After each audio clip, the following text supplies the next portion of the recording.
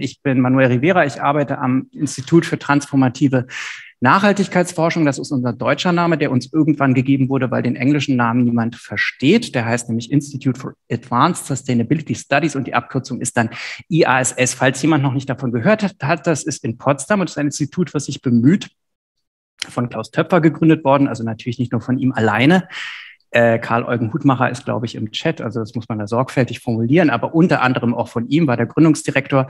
Es ist ein Institut, äh, was sich von Anfang an zum Ziel gesetzt hat, Nachhaltigkeitswissenschaft äh, nicht nur so zu betreiben, dass dann am Schluss irgendwelche Politikempfehlungen auf dem äh, Tisch oder in der Schublade oder an noch vergesslicheren Orten liegen, sondern dass man schon in dem Moment, wo man Fragen, wo man in Planungen einsteigt und so und Fragen formuliert, eigentlich in ein, ein Miteinander von Wissenschaft und Gesellschaft versucht zu betreiben. Da sind wir natürlich nicht die Einzigen.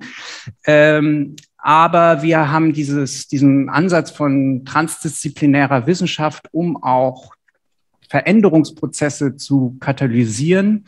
Ähm, den eigentlich immer so verstanden, dass das auch Brücken bauen heißt zwischen verschiedenen hm, Typen und Gruppen von Akteuren. Und dazu gehören nicht zuletzt deshalb auch Künstlerinnen und Künstler, weil sie oft viel besser als andere verstehen, was es heißt, äh, genau solche Prozesse äh, zu gestalten, vielleicht auch ergebnisoffen zu gestalten, Unsicherheiten auszuhalten, Unsicherheiten äh, produktiv zu machen. Und das ist der Grund, warum das ISS auch die Initiative des Fonds für Ästhetik und Nachhaltigkeit unterstützt. Ähm, die Initiative ist, ich stelle sie gleich vor, ähm, Adrian Göhler hat sie schon vor einer ganzen Weile in den Raum gestellt und dieses Konzept äh, entworfen. Sie ist allerdings hat in den letzten, würde ich sagen, anderthalb Jahren nochmal deutlich an Fahrt aufgenommen, einfach weil ganz viele Menschen sowohl aus der Wissenschaft äh, und das heißt natürlich auch auf der sogenannten transformativen Wissenschaft, äh, aus der Nachhaltigkeitspolitik, aber eben auch aus verschiedensten Bereichen der Künste zusammengekommen sind und gesagt haben, ja, wir brauchen eigentlich eine ganz andere Art Förderkultur und damit auch Förderstruktur, die es uns ermöglicht, äh, disziplinenübergreifend zusammenzukommen, Prozesse anders zu gestalten, nachhaltiger zu gestalten, andere Produkte vielleicht auch miteinander zu finden und zu erfinden, die uns nicht durch die herkömmlichen Förderlogiken ähm, erlaubt werden. Und das ist interessanterweise, und das möchte ich schon vorab noch bemerken, gleichzeitig nochmal dieses Wiederaufleben oder stärkere Aufleben der Idee eines Fan, wie wir ihn abkürzen, äh, äh, zu der Debatte um eine stärkere Klimaneutralität im Kunstbetrieb. Ich glaube, das wird heute auch äh, nochmal Thema sein, aber ich möchte doch darauf hinweisen, dass das eigentlich zwei sehr komplementäre, aber nicht identische Ansätze sind. Also das, was da jetzt diskutiert wird, zum Beispiel das Aktionsnetzwerk Nachhaltigkeit, was ins Leben gerufen wurde vor anderthalb Jahren, glaube ich. Ähm, da geht es natürlich darum, dass die Künstlerinnen und Künstler in ihren jeweiligen Betrieben äh, ihre gute Bürgerpflicht tun, nämlich äh, weniger ressourcenintensiv zu produzieren. Das sollten wir alle tun und das soll, damit sollten natürlich auch äh, Künstlerinnen und Künstler sich darüber austauschen, wie das geht. Da könnte man allerdings sagen, das ist gar nicht so unbedingt nur kunstspezifisch. Also da geht es teilweise um Dinge, die geht, um die geht es in anderen Betrieben auch.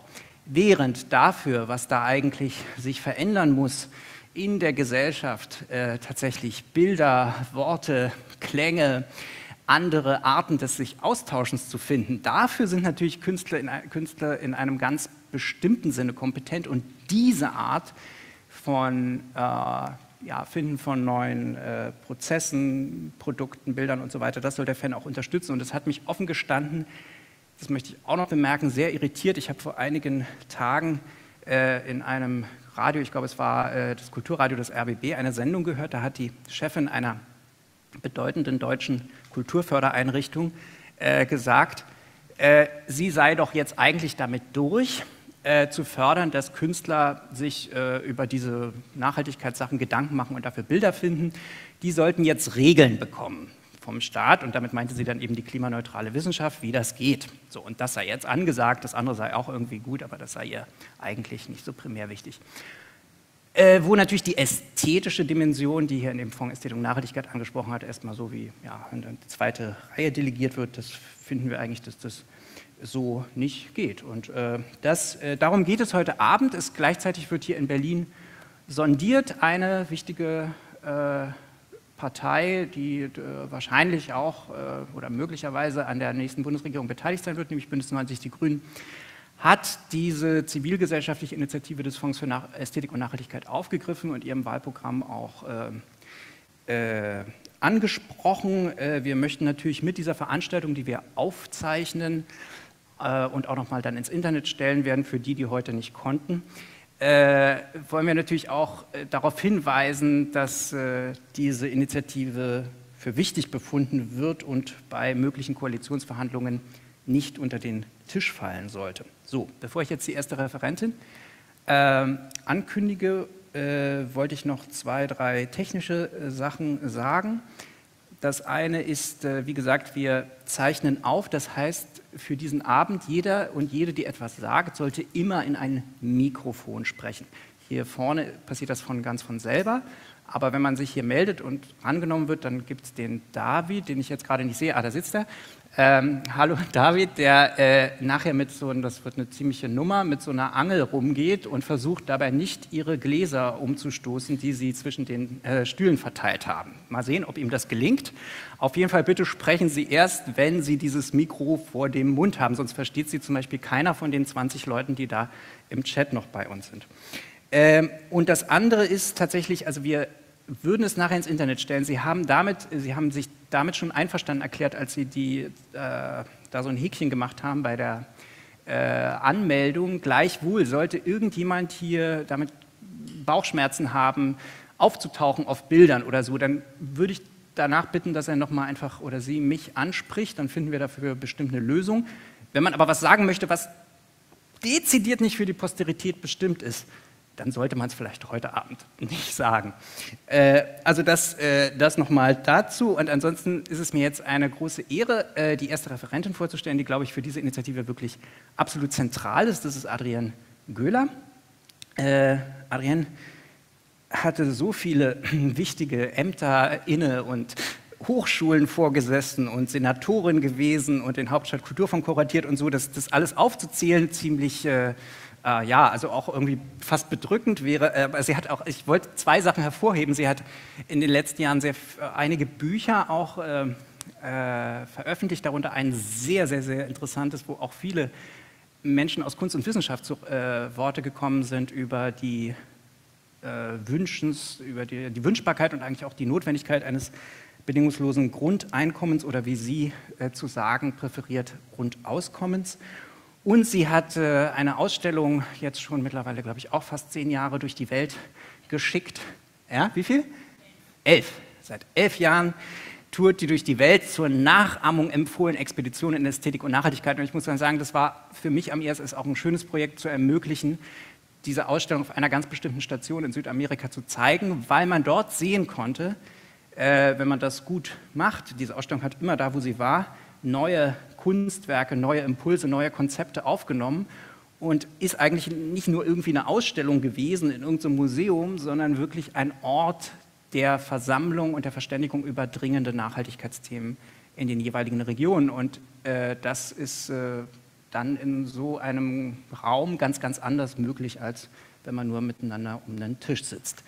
Und äh, deshalb ohne weitere Einleitung, Adrienne, du hast das Wort, uns den Fan vorzustellen.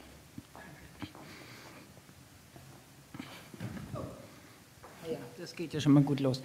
Ähm, guten Abend, schön, dass ihr da seid. Ähm, ich habe, danke Manuel für die, für die ähm, einleitenden Worte und was ich ganz angenehm finde, wir sind schon so raus aus dem Zeitplan, dass wir jetzt auch so ungeniert miteinander sprechen können. Ich habe vorne äh, als erstes Bild, weil heute der 14. Oktober ist und das ist der Geburtstag von Hannah Arendt. Und ihr habe ich dann das Wort gleich nochmal gegeben, weil das verbindet mich so sehr mit ihr und den Fan mit ihr. Es geht um die Fähigkeit der Menschen, Neues in die Welt zu rufen. Und das ist gleichzeitig das Key Visual zu der eben erwähnten Ausstellung zur Nachahmung empfohlen, mit der ich eben durch die Welt reise und die auf eine künstlerische Aktion zurückgeht von Alora Casadilla, die nach einem nach der Kontaminierung einer Halbinsel vor Costa Rica äh, den Verhandlungstisch mit verlassen haben und sind losgezogen ins Offene, ins Freie. Ähm, da, wo ich weg möchte, mit euch zusammen hoffentlich, ist äh, von einer Förderlandschaft, die gekennzeichnet ist durch Silo-Denken, die komplett Nachhaltigkeit in der Kunst verhindert, weil die Förderlandschaft Produktionszwang ist. Sie ist kurzatmig. Sie huldigt dem Fetisch des Neuen, dem nie Dagewesenen. Und ich finde das von schrecklichem Infantilismus, in den wir sozusagen, mit dem wir konfrontiert sind, weil natürlich können wir nicht jedes Mal das Rad neu erfinden. Das übrigens ist für mich die kürzeste Formel, auf die ich gerne Nachhaltigkeit bringen würde. Gottsverdammt nochmal nicht das Rad jeweils neu zu erfinden. Es ist der ungehinderte Ausdruck des kapitalistischen höher, schneller, weiter, für die Kunst noch schriller und mehr. Und der ganz große Nachteil ist, dass Arbeiten eigentlich künstlerische Produktion gar nicht reifen kann, weil sie sofort wieder mit einem neuen Antrag, mit was ganz Neuem äh, davon abgelöst wird. Das ist für mich Fast Food, es ist Fast Track und es ist ein enormer Verschleiß von künstlerischen wie materiellen Ressourcen. Ähm, das ist die wunderbare, stolze, großartige, schöne Ausbeute von ähm, relativ unsystematischem Nachfragen bei Menschen. Würdest du das denn irgendwie einsehen, so mit so einem Fonds für Ästhetik und Nachhaltigkeit? Und es ist überwältigend, was für eine inhaltlich kluge Resonanz aus diesen jetzt 135 wird sozusagen täglich noch mal mehr, kurz vor den Koalitionsverhandlungen, vor der Aufnahme. Also ich begreife das ehrlich gesagt heute Abend als eine deutliche, ähm, so etwas wie eine Werbeveranstaltung für die äh, Koalitionsverhandlungen.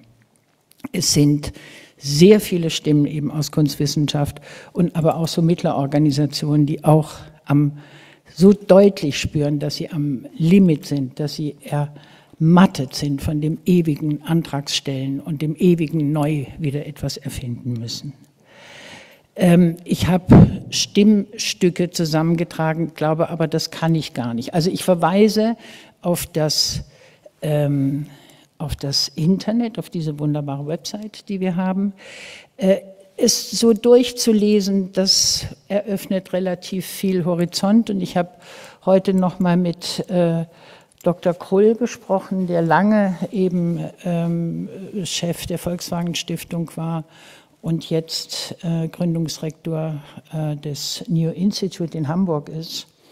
Und er sagte, ich habe auf der Zugfahrt das alles nochmal gelesen dachte, oh, das wird bestimmt langweilig, weil alle dasselbe sagen. Sie sagen eben nicht alle dasselbe, sondern das Wunderbare ist, dass aus so vielen verschiedenen Blickrichtungen es deutlich wird, dass wir einfach dringend eine Veränderung brauchen.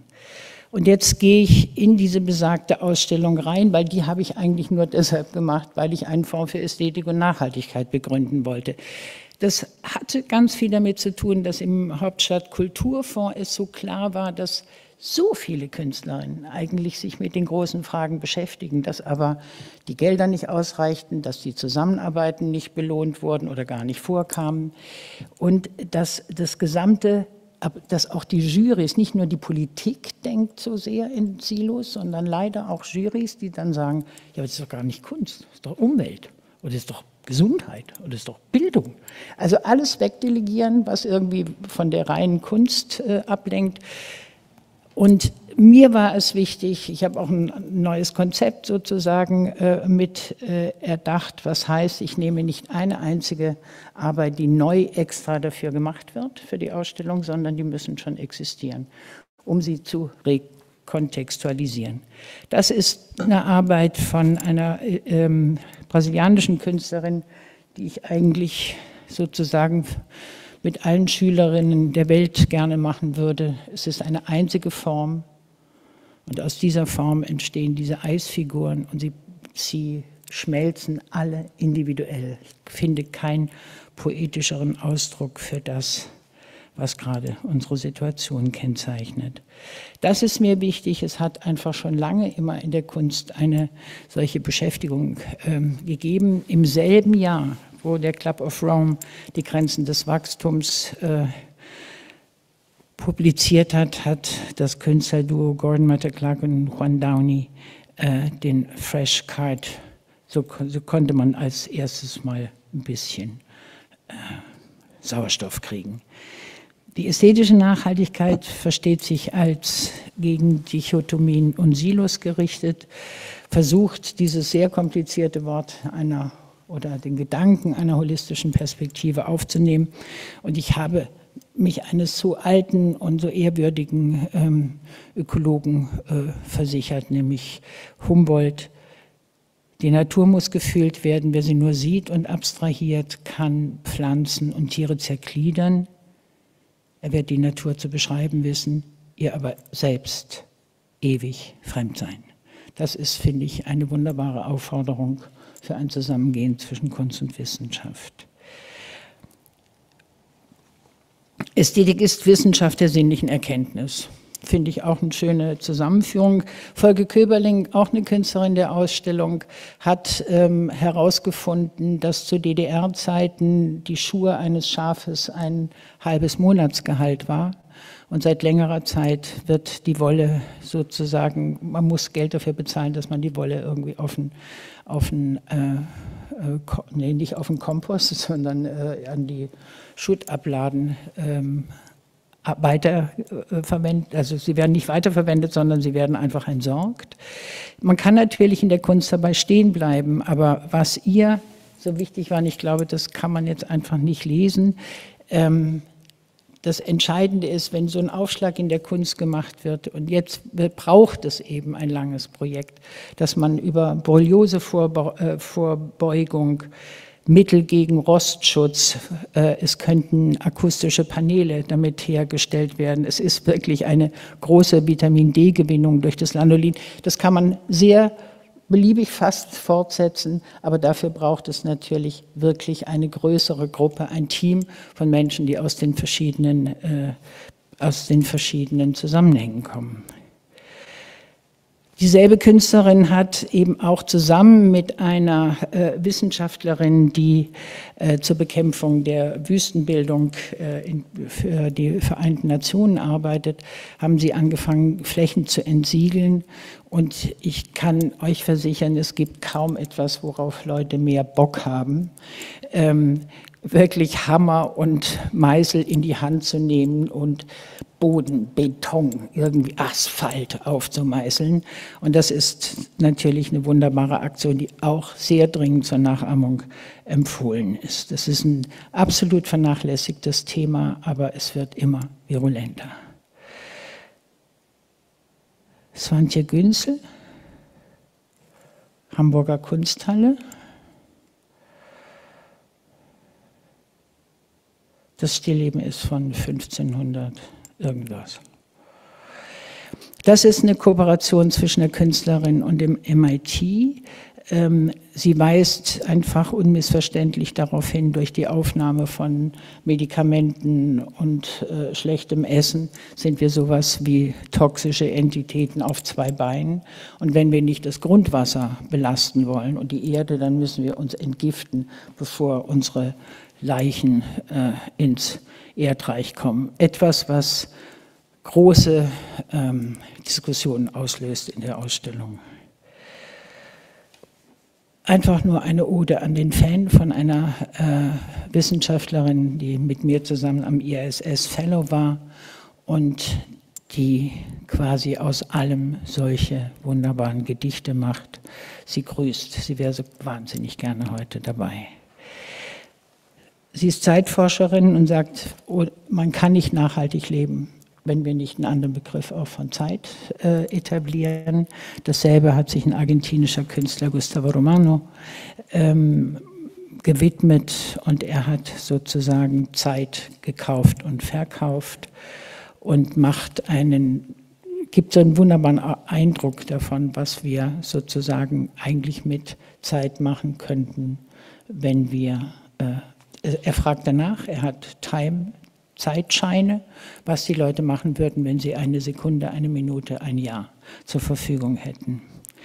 Das ist jetzt das von Manuel schon angesprochene, ähm, ein Auszug aus dem grünen Wahlprogramm. Das war die erste wichtige Hürde, die die Fangemeinde äh, genommen hat, nämlich ins äh, Wahlprogramm der Grünen zu kommen und in dieser Verschränkung einen Fonds zu haben, um tatsächlich äh, betriebsökologisch äh, die Institutionen der Kultur äh, umzustellen und gleichzeitig, und das habe ich gehighlightet, könnt ihr lesen, oder? Muss ich jetzt nicht.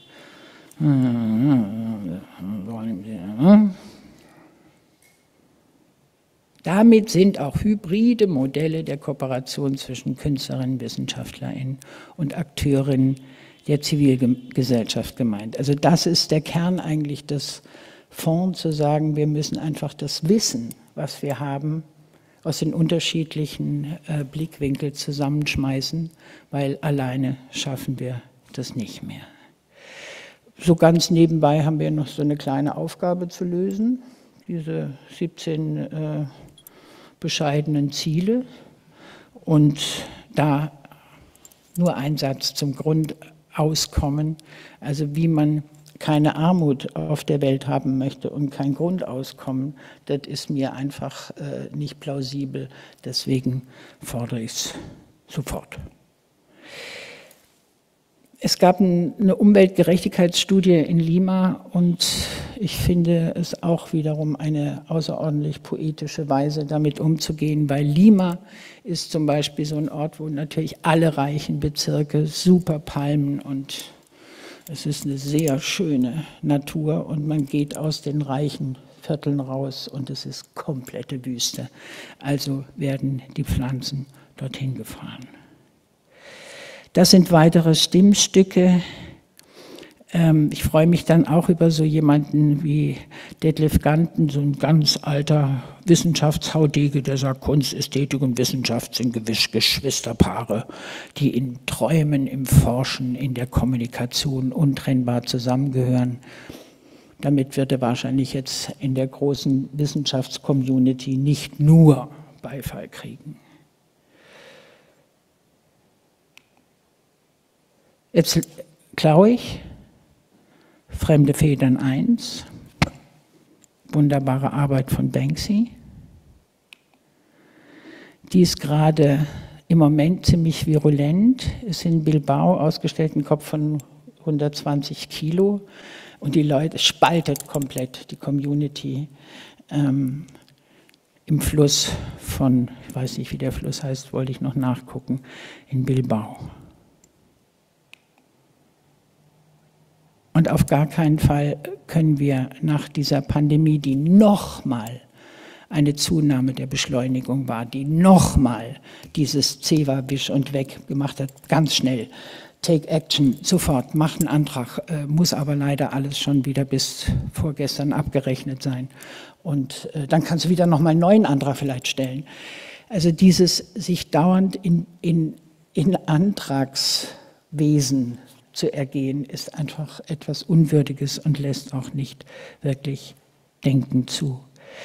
Ähm, gegen das alles haben wir jetzt den Fan gerichtet und diese 135 Stimmen sind das Kapital, mit dem wir irgendwie eigentlich wuchern können, weil es eine unfassbar kluge äh, Gemeinde ist. Und jetzt soll der Fan einfach die bloße Segmentförderung und die Versäulung des Wissens überwinden, einen Möglichkeitsraum herstellen für das Zusammenwirken. Und da, es liegt so viel Wissen da. Es liegt eben auch das lokale Wissen da, was wir verbinden sollten mit wissenschaftlichen und künstlerischen Ansätzen. Und wir brauchen Zeit, Zeit für ein gemeinsames Trans-, inter- und multidisziplinäres Forschen. Und es soll Projekte ermutigen, er soll Projekte ermutigen, die zu einer anderen Form des Lernens und Handelns beitragen. Jetzt schmeiße ich so ein paar Sachen rein für die Diskussion. Zehn Millionen will ich haben pro Jahr. Zunächst mal auf sechs Jahre. Heute sagte Kohl zu mir, nee, nee, es müssen mindestens sieben sein. Ähm, kann man noch drüber nachdenken. Und es soll eben gleich äh, ein Monitoring geben, aber was sicherlich nicht aus irgendwie dem Wissenschaftsrat besteht, sondern eben aus KünstlerInnen und WissenschaftlerInnen, um es zu begleiten und nicht um es zu bewerten. Äh, die KünstlerInnen sollen zum ersten Mal so etwas haben wie ein Auskommen, indem sie sich orientieren an den äh, wissenschaftlichen Gehältern. Natürlich muss die Jury transdisziplinär sein und nicht wieder entweder das eine oder das andere.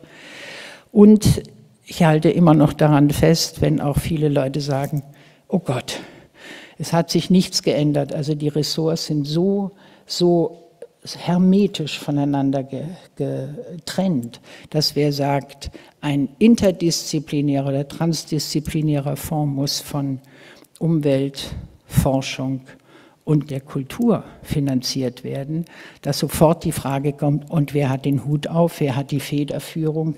Also es wird sicherlich nicht leicht. Ich glaube aber, es lohnt sich, diesen Kampf mitzuführen, weil er einfach, finde ich, ziemlich wichtig ist. Also dass es ressortübergreifend ist.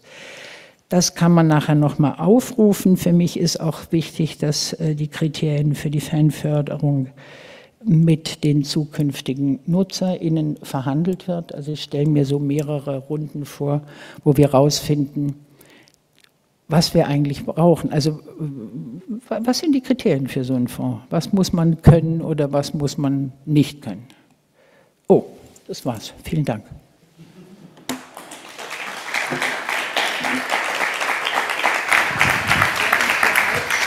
Vielen Dank, äh, Adrienne.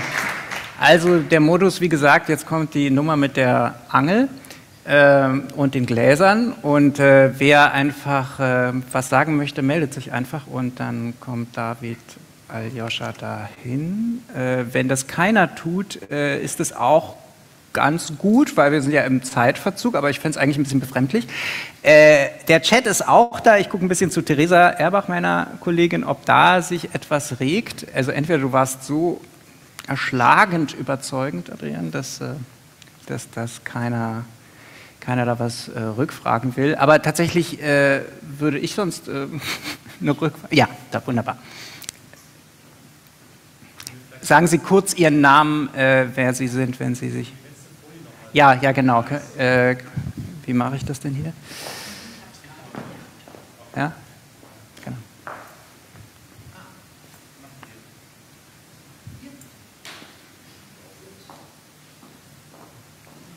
Kann man jetzt? Okay. Also mein Name ist Helge Lind, ich bin Mitglied des Bundestages, auch wieder. Ich äh, bin in dem Fall nicht für das Wahlprogramm der Grünen verantwortlich, weil ich äh, Mitglied der SPD bin und da auch neben dem Innenausschuss im Kulturausschuss, also auch mit, viel mit Kulturpolitik zu tun habe und hatte. Und der Bundestag ist also da, er nimmt das zur Kenntnis, nicht nur Wahlprogramme. Äh, und dann wird es ja spannend für, wie gesagt wurde, mögliche Koalitionsverhandlungen. Ich finde die ganzen Forderungen, die formuliert sind, A, spannend und auch sinnvoll, habe ich in anderer Form auch, auch sagen, Zugänge, weil wir ja alle leiden an dieser Projektitis und auch Selbstverzwergung von Kulturpolitik und Kultur in dem ganzen Kontext sozusagen domestiziert durch Förderung. Deshalb ist ja, vieles unbedingt unterstützenswert. Ich finde nur, also ein Ansatzpunkt ist ein Fonds und das ist jetzt kein Argument dagegen. Ich will nur darauf hinweisen, natürlich, wenn wir über Fonds sprechen und auch über Projekte, sind wir noch in der alten Sprache, in der Logik. Anders kann man es auch nicht. Also mhm. sozusagen, man muss ja subversiv arbeiten. Ich würde es nur immer verbinden, egal was rauskommt, wenn es jetzt auch gelingt oder in welchem Umfang das gelingen sollte, einen solchen Fonds auf den Weg zu bringen, dass wir ähm, auch in der Welt jenseits des Fonds diesen Wandel brauchen. Und das möchte ich mit einem Ausrufungszeichen verstehen. Also es würde am Ende nicht reichen, oder es dürfte nicht unser Ziel sein, zu sagen, wir haben dann so einen Bereich, in dem das nicht gilt. Aber nebenan haben wir weiter noch die alten Regeln. Denn die, die grundsätzlich benannten Punkte, das ist ja wichtig und so verstehe ich auch das Papetitum, ist ja, dass wir ähm, in der Gesamtsystematik, wie wir Kultur fördern, wie wir da denken, wie wir Leute dazu bringen, äh, ein Projekt nach dem anderen hervorzubringen und dass nicht eigentlich die künstlerische Arbeit und das Schaffen gefördert wird, sondern die Kunst äh, Anträge stellen zu können und danach zu funktionieren. Das ist ja eine Kernanliegen, wenn ich es richtig begriffen habe, mit dieser Logik zu brechen, auch mit diesem sozusagen Zeitdisziplin, die auferlegt wird, dem Zwang zur Innovation, der dann wiederum aber nicht wirklich Innovation hervorbringt. Und das müsste dann das auch äh, Ansinnen sein, weil ja manchmal es politisch passiert, dass man ein, ein wirklich äh, ambitioniertes Projekt hat, dann verortet man das irgendwo und kann dann anderswo wieder so weitermachen. Deshalb äh, ist das Ansinnen sicherlich berechtigt und hochinteressant, so einen Fonds zu machen, aber äh, ich bin da auch für eine Dis Debatte über einen Systembruch in dem ganzen Kontext. Also das wäre mein Wunsch auch und äh, sehr unterstützenswert aus meiner Sicht. dazu sagen, first we take Manhattan, then we take Berlin. Also äh, ein, dann auch noch ein Satz meiner Seite, das ist tatsächlich auch diese, also was das eigentlich heißt, Vorhaben zu fördern, die dann auf Verstetigungen oder auf äh, das überhaupt Ändern von Prozessen auch angelegt sind. Also um nicht zu sagen, okay, wir machen jetzt einfach Projekte, die sind dann mal vier Jahre lang, aber sind eben noch weiter Projekte. Ein, ein der Punkte, den wir, glaube ich, am intensivsten immer wieder diskutieren, was das genau heißen kann. Ich persönlich finde, äh, deshalb, auch deshalb sehr wichtig den Gedanken des Monitorings, um zu sagen, das ist eigentlich auch ein großer Lernmechanismus, wo man sagt, aha, wo hört es denn dann eigentlich auf? Äh, wo ist es denn, wo müsste es weitergehen, kann aber nicht, aus welchen Gründen nicht? Und daraus dann eigentlich den Fan als ein Lerninstrument zu begreifen, um überhaupt Förderstruktur neu zu denken. Also äh, quasi den Fan in diesem Sinne tatsächlich als diesen Manhattan-Anfang. Äh. Ist doch ganz schön. Christa. Äh, ich habe äh, zwei Punkte. Erstmal finde ich die 10 Millionen ja schon fast bescheiden, wenn man die ja. Förderprogramme anschaut, äh, äh, auf die wir uns jetzt in der Wissenschaft bewerben. Ähm, da geht es ja dann auch so bei 10, 12 Millionen los bis natürlich äh, in dem Nachhaltigkeitsbereich, aber natürlich auch andere Größenordnungen und davon ganz viele. Und ähm, soweit ich in der Statistik des BMBFs nachgeschaut habe, ist ja ungefähr die Forschung und Innovation bei drei Prozent des BIPs. Und ähm, ich denke mal, man sollte zumindest einen Aufwuchs mitformulieren, wenn man schon so bescheiden ist. Ja, ähm, denn das Geld ist sehr schnell aufgebraucht. Ja. Ähm, das ist der eine Punkt. Ähm, und der andere Punkt ist, wenn man mit Wissenschaft ja auch dann, das steht ja auch da, zusammenarbeiten will. Wir haben ja zwei sehr unterschiedliche Logiken in der Arbeitsweise und in der Systematikpolitik auch nochmal. Dann haben wir noch das Bildungssystem, da reicht Kunst und Kultur ja auch rein. Ähm, dann haben wir möglicherweise die Wirtschaft, die durchaus auch ja äh, sehr stark auch im Kunst- und Kulturbereich möglicherweise auftritt, im Hintergrund mit irgendwelchen Stiftungen. Da ist eben die Frage, ähm, wie kriegt man diese Systeme getaktet? Und äh, da würde ich natürlich sagen, innerhalb der Wissenschaft, genauso wie wir überlegen, wie kann denn Politikberatung wissenschaftsbasiert passieren und ausgestattet werden, muss natürlich auch der Freiraum da sein, in wissenschaftlichen Projekten sich überhaupt damit befassen zu können. Das heißt, wir brauchen einen Spiegel, dieser Förderung auch in der Wissenschaft, nicht nur und nicht daneben, also nicht wieder die Monumente, aber das möglicherweise quer angelegt durch die äh, Förderprojekte.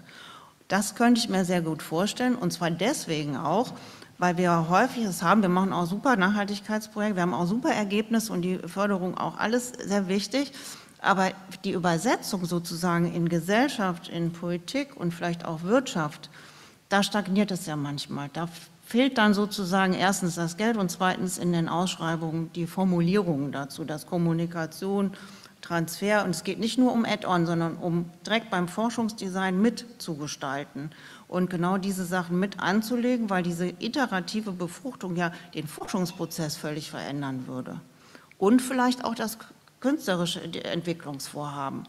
Und diese Iteration fände ich für mich in der Forschung ähm, hochinteressant, wahrscheinlich auch total nervig, aber Wissenschaft nervt auch schon mal ganz schön, äh, weil man an vielen Stellen nicht vorankommt und, und nach Lösungen suchen muss. Und von daher kann das ja auch sehr gegenseitig befruchtend sein. Das war vielleicht das, was ich da noch gerne anmerken wollte. Okay, wir ver verdoppeln. Also über die Wissenschaftsseite werden wir ganz bestimmt nachher auch nochmal anlässlich deines Impuls, äh, Impulsvortrages sprechen. Das, äh, für die, die sie nicht kennen, das ist Christa Liedke, äh, Leiterin der Abteilung Nachhaltiges Produzieren und Konsumieren am Wuppertal-Institut. Und ich habe in der Anmoderation vergessen zu sagen, dass wir tatsächlich mit dem Wuppertal, das ISS, mit dem Wuppertal-Institut gemeinsam äh, auch vorhat, in den nächsten Monaten sich in einer Reihe von Workshops äh, über diese offenen Fragen oder halb geklärten Fragen noch mal in größeren Runden Gedanken zu machen, entweder vis-à-vis -vis einem äh, bereits im Koalitionsvertrag beschlossenen Vorhaben. Sollte das aus unerfindlichen Gründen nicht der Fall sein, dann auch äh, mit dem Ziel, äh, in einem zweiten Anlauf da nochmal über einen anderen Weg äh, an die Verwirklichung ranzukommen. Aber ich hoffe mal, dass wir dann vielleicht schon wirklich auf der politischen Seite Partner haben, die das auch äh, umsetzen wollen, und zwar bald. Äh, ich äh, würde jetzt gerne, wenn im Chat nicht sich was Dringendes getan hat, würde ich gerne an, äh, tut mir leid, wir müssen wirklich weitergehen, wir sind ein bisschen, aber es gibt, also wir machen jetzt die, die Slots nach den Impulsen äh, groß genug. Ähm, die nächste Referentin äh, kurz vorstellen, Franziska Piervos, äh, Künstlerin, Installations-, Performance-Künstlerin, hat in Leipzig und Beirut studiert, wohin, wenn ich das richtig gesehen habe, dich auch das ein oder andere Projekt immer mal wieder zurückgeführt hat.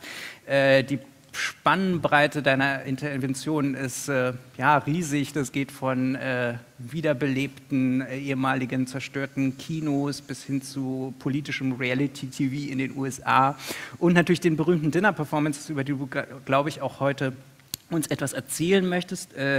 Äh, von daher also ganz viel auch äh, ausgestellt, in anderen Städten diese Interventionen auch gemacht. Äh, das geht, reicht von Athen bis zum äh, Museo Universitario Arte Contemporaneo in Mexiko und äh, ja, aber auch hier Berlin-based, äh, vielen, vielen vielleicht auch hier in Berlin äh, bekannt und ich fand ganz interessant, Franziska gehört natürlich auch zu den Unterstützerinnen des Fan, diese Formulierung, dass sie gesagt hat, er ist eine radikale, könnte eine radikale Bereicherung aller Disziplinen bringen, von der Kunst bis zur Landwirtschaft. Äh, das finde ich, das ist genau der Punkt. Äh, ich gebe dir das Wort, Franziska.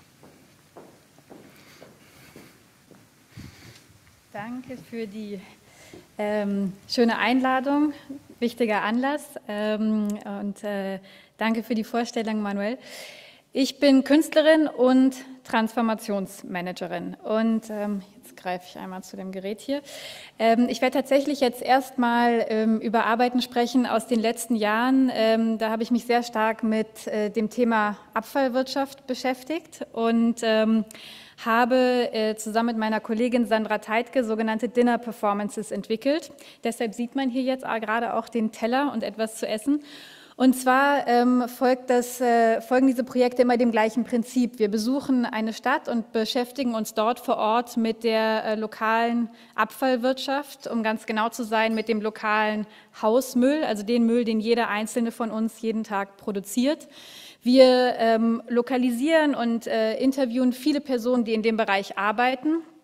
Das heißt, ähm, die Leute, die wir zu, oder als Expertinnen verstehen, das ähm, ist sowohl ähm, der Stadtrat, der irgendwelche neuen Regularien abzeichnet oder unterzeichnet, genauso wie der informelle Müllsammler. Denn äh, niemand kennt den Mülleimer der Stadt so gut wie beispielsweise in Berlin der Flaschensammler. Der kann sehr viel mehr über die Zusammensetzung des Berliner Mülls in den orangenen Tonnen sagen als jeder digitale äh, Sensor der BSR, die bald eingeführt werden. Und ähm, diese Projekte gab es in unterschiedlichen Städten. Hier beispielsweise ist jetzt ein Bild aus Beirut sichtbar. Das funktioniert tatsächlich so, dass ich als Künstlerin meistens in, äh, irgendwohin eingeladen werde. Das heißt, ich suche mir die Orte nicht vollkommen selbstständig aus, aber eigentlich versuche ich immer dort zu arbeiten, wo ich zumindest auch ähm, sprachlich mich zurechtfinden kann. Denn die Projekte haben immer lange äh, Recherchevorläufe. Das ist jetzt ein ähm, Bild aus Beirut. Diese ganzen ähm, Expertinnen, die wir in einer mehrmonatigen oder teilweise auch äh, einer Recherche, die bis zu einem Jahr dauert, ähm, treffen und sprechen, werden am Ende des Projekts zu einer sogenannten Dinner Performance eingeladen. Das ist im Grunde genommen ein echt schickes Gala-Diner in einem möglichst irgendwie ähm, auch schick anmutenden Ort. Hier in Beirut ist das ein, äh, äh, das einzige städtische Museum. Eigentlich äh, geht es uns immer darum, äh, dass wir in diesen Projekten auch wirklich Museen als Orte der Diskussion oder einer möglichst kontroversen Auseinandersetzung nutzen und es müssen öffentliche Orte sein. Und ähm, das, äh, jetzt komme ich gerade, das ist jetzt die größte aktive Müllkippe Europas, das ist außerhalb von Athen. Ähm, äh, die, ähm, in Philly liegt diese äh, Müllkippe, die immer jeweils zur nächsten Kommunalwahl nochmal um eine weitere äh, Sparte erweitert wird, damit man dann nochmal mehr Müll entsorgen kann und der nicht äh, gerade vor den Kommunalwahlen dann plötzlich wieder in den Straßen in Athen sich auftürmt. Und ähm, Athen hebe ich hervor, weil da ging es nicht nur um das Thema der Abfallwirtschaft, wo wir ähm, wirklich sehr lange Zeit hatten, mit einem sehr guten lokalen Team dieses Thema zu recherchieren und dann auch am Ende die Möglichkeit hatten, die ganzen ähm, Expertinnen zusammenzubringen. Wir, die Bilder, die hier gerade im Hintergrund laufen, zeigen, dass wir relativ viel Vor-Ort-Recherche machen. Das heißt, wir fahren mehrmals zum Beispiel die Touren mit, den, äh, mit, den, äh, mit dem Müllwagen mit, äh, versuchen nachzuvollziehen, wo, ab welchem Punkt recycelt wird, welche auch informellen Strukturen vorhanden sind. Die gibt es überall auf der Welt, auf Müllkippen. Ähm, äh, es gibt immer auch sozusagen neben dem offiziellen Betrieb den inoffiziellen Betrieb, der aus dem Müll wieder herausfiltert, was noch weiter genutzt werden kann. Das sind, ähm, ähm, so sieht eine Recyclingstation von innen aus.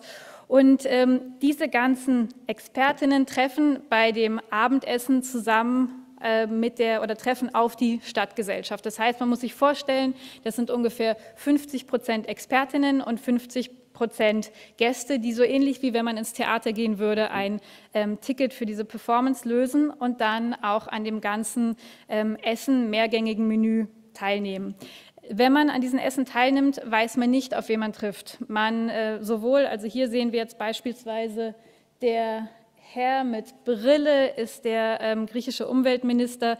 Daneben sitzt eine, oder ihm gegenüber mit den roten Haaren sitzt eine Aktivistin gegen eine, die oder die sich ähm, stark macht gegen die Müllverbrennung in Zementfabriken in äh, Volos, wo der Athener Müll, der in Athen nicht entsorgt wird, hingefahren wird durchs halbe Land. Ähm, da sitzt ein äh, weiterer Aktivist, der als Taucher vor den Küsten ähm, äh, Griechenlands die Müllansammlung dokumentiert. Da sitzt ein Herr, der selber in der Zementindustrie arbeitet und dort die Verbrennungsverfahren ähm, äh, zertifiziert ähm, und eine Dame, die in der, ähm, die in, damals zu dem Zeitpunkt, das war kurz vor den Kommunal- und Europawahlen in Griechenland, die dort sehr eine große Rolle gespielt haben, äh, die Syriza-Partei vertritt und dann zwei weitere Gäste, die einfach quasi normale Gäste sind.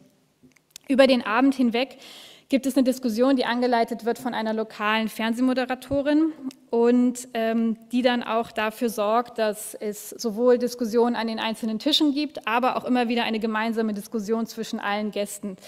Oftmals, also diese ähm, Essen haben stattgefunden in Mexico City, in ähm, Beirut, äh, im Libanon und äh, in Athen, in Griechenland. Und äh, je nach der, nein, eigentlich in allen Städten kann man sagen, dass es zu sehr heftigen Auseinandersetzungen kam während des Abends. Ähm, das Ganze wird strukturiert durch die Menüfolge, die Menüfolge, die auch immer Bezug nimmt auf, das, ähm, auf die jeweilige Müllsituation oder Abfallsituation vor Ort.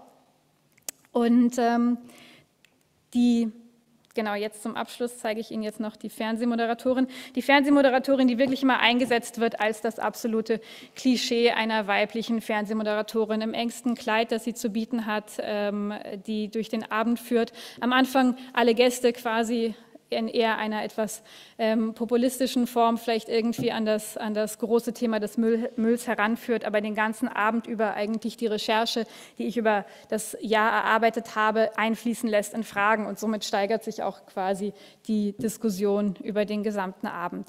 Ähm, ich habe jetzt gerade sehr viele Bilder aus Athen gezeigt, weil äh, während der Arbeit in Athen kam dort von, der, von unserem, sozusagen unserem Gastgeber der dortigen Institution eines Tages ähm, ein Team auf uns zu, das sogenannte Green Team. Und wir wurden damit begrüßt, dass es hieß, Sie kommen ja aus Deutschland, das ist das Green Team, das kennen Sie bestimmt. Wir machen die CO2-Bilanzierung Ihrer künstlerischen Produktion und wir begleiten Sie jetzt und wir werden uns einmal angucken, wie das mit den Aspekten der Nachhaltigkeit aussieht. Aber damit sind Sie ja vertraut, denn Sie kommen ja aus Deutschland. Daraufhin haben wir auf den Boden geguckt und gesagt, hm, okay, ähm, haben wir noch nie erlebt. In der deutschen Kulturlandschaft ähm, habe ich das auch mit, ähm, es gibt wirklich sehr wenige Ausnahmen. Die sind tatsächlich meistens weiblich, die das schon länger machen, die sich damit auseinandersetzen. Aber eigentlich ist dieses Thema der praktischen Aspekte der Nachhaltigkeit in der deutschen Kulturlandschaft ähm, krass vernachlässigt worden. Das äh, wird jetzt gerade mit einem sozusagen mit viel Tempo soll das aufgeholt werden. Und das ist eigentlich auch vielleicht so die Überleitung zu dem, was ich am Anfang gesagt habe. Und zwar, dass ich ähm, jetzt ab nächster Woche dann vollkommen offiziell, aber jetzt auch schon geprüft, Transformationsmanagerin Kultur ähm, mich nennen darf. Und zwar hat äh, das unter anderem sicher auch die Corona-Zeit nochmal ähm, mehr hervorgehoben. In, dieser ganzen, in diesem ganzen Zeitraum konnte ich künstlerisch kaum tätig sein und habe mich einfach auch nach diesem Zusammentreffen mit dem Green Team in Athen damals doch nochmal verstärkt äh, mit dem Aspekt der eigenen Arbeit auseinandergesetzt und einfach geschaut, was bedeutet das hier eigentlich? Ist es gang und gäbe, dass im, gerade auch im Kunstbetrieb Podiumsdiskussionen veranstaltet werden zu dem Thema Klimawandel oder irgendwie Klimakrise? Aber inwieweit äh, findet das dann findet das praktische Umsetzung? Und ähm, das heißt, dass ich seit ungefähr jetzt zwei Jahren sehr viele Workshops zu dem Thema gebe, mich viel damit auseinandergesetzt habe, wie die praktische Umsetzung aussehen kann für Institutionen, aber auch für KünstlerInnen und ähm, äh, Tools dazu entwickelt habe, in verschiedenen, äh, also in, mit verschiedenen Partnern, sowohl dem Bundesverband der freien darstellenden Künste, das ist dann mehr im Bühnenbereich, oder auch in der Klimawerkstatt ähm, der Kulturstiftung des Bundes, da immer wieder versucht habe zu gucken, wie kann man, wie kann man ähm, dieses Thema auch in der, also die Fragen der Betriebsökologie reintragen, weil ich immer wieder sehe und auch merke, dass man diese Bereiche nicht separat verhandeln kann.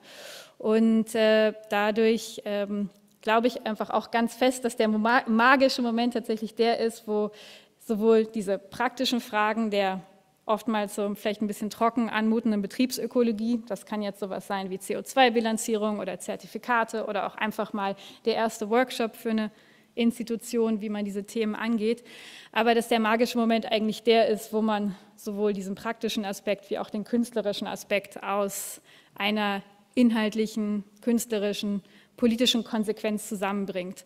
Und das ist dann eigentlich auch so etwas wie der, wie der Fan, wo man die Möglichkeit hat, mit ähm, interdisziplinär zusammenzuarbeiten, die Möglichkeit hat, mit Wissenschaftlern zu kooperieren, genauso wie ich das beispielsweise in diesen Projekten immer tue mit informellen Müllsammlern und einfach zu gucken, wie man Wissen, praktisches Wissen, Erfahrungswissen austauschen kann in diesem sozusagen weiten Bereich oder was in, in irgendeiner Form mit dem Thema Nachhaltigkeit assoziiert werden kann.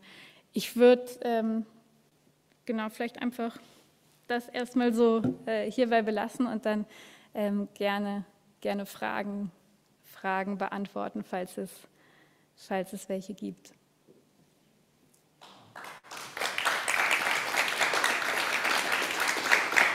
Danke, Franziska. Bleib doch vielleicht für diese Runde da mhm. auch gleich am, am, Pult stehen, wo ich übrigens sehe, dass da, glaube ich, noch Adriens Glas steht. Vielleicht können wir das dann, David, äh, beim nächsten Referenten irgendwie ein neues hinstellen.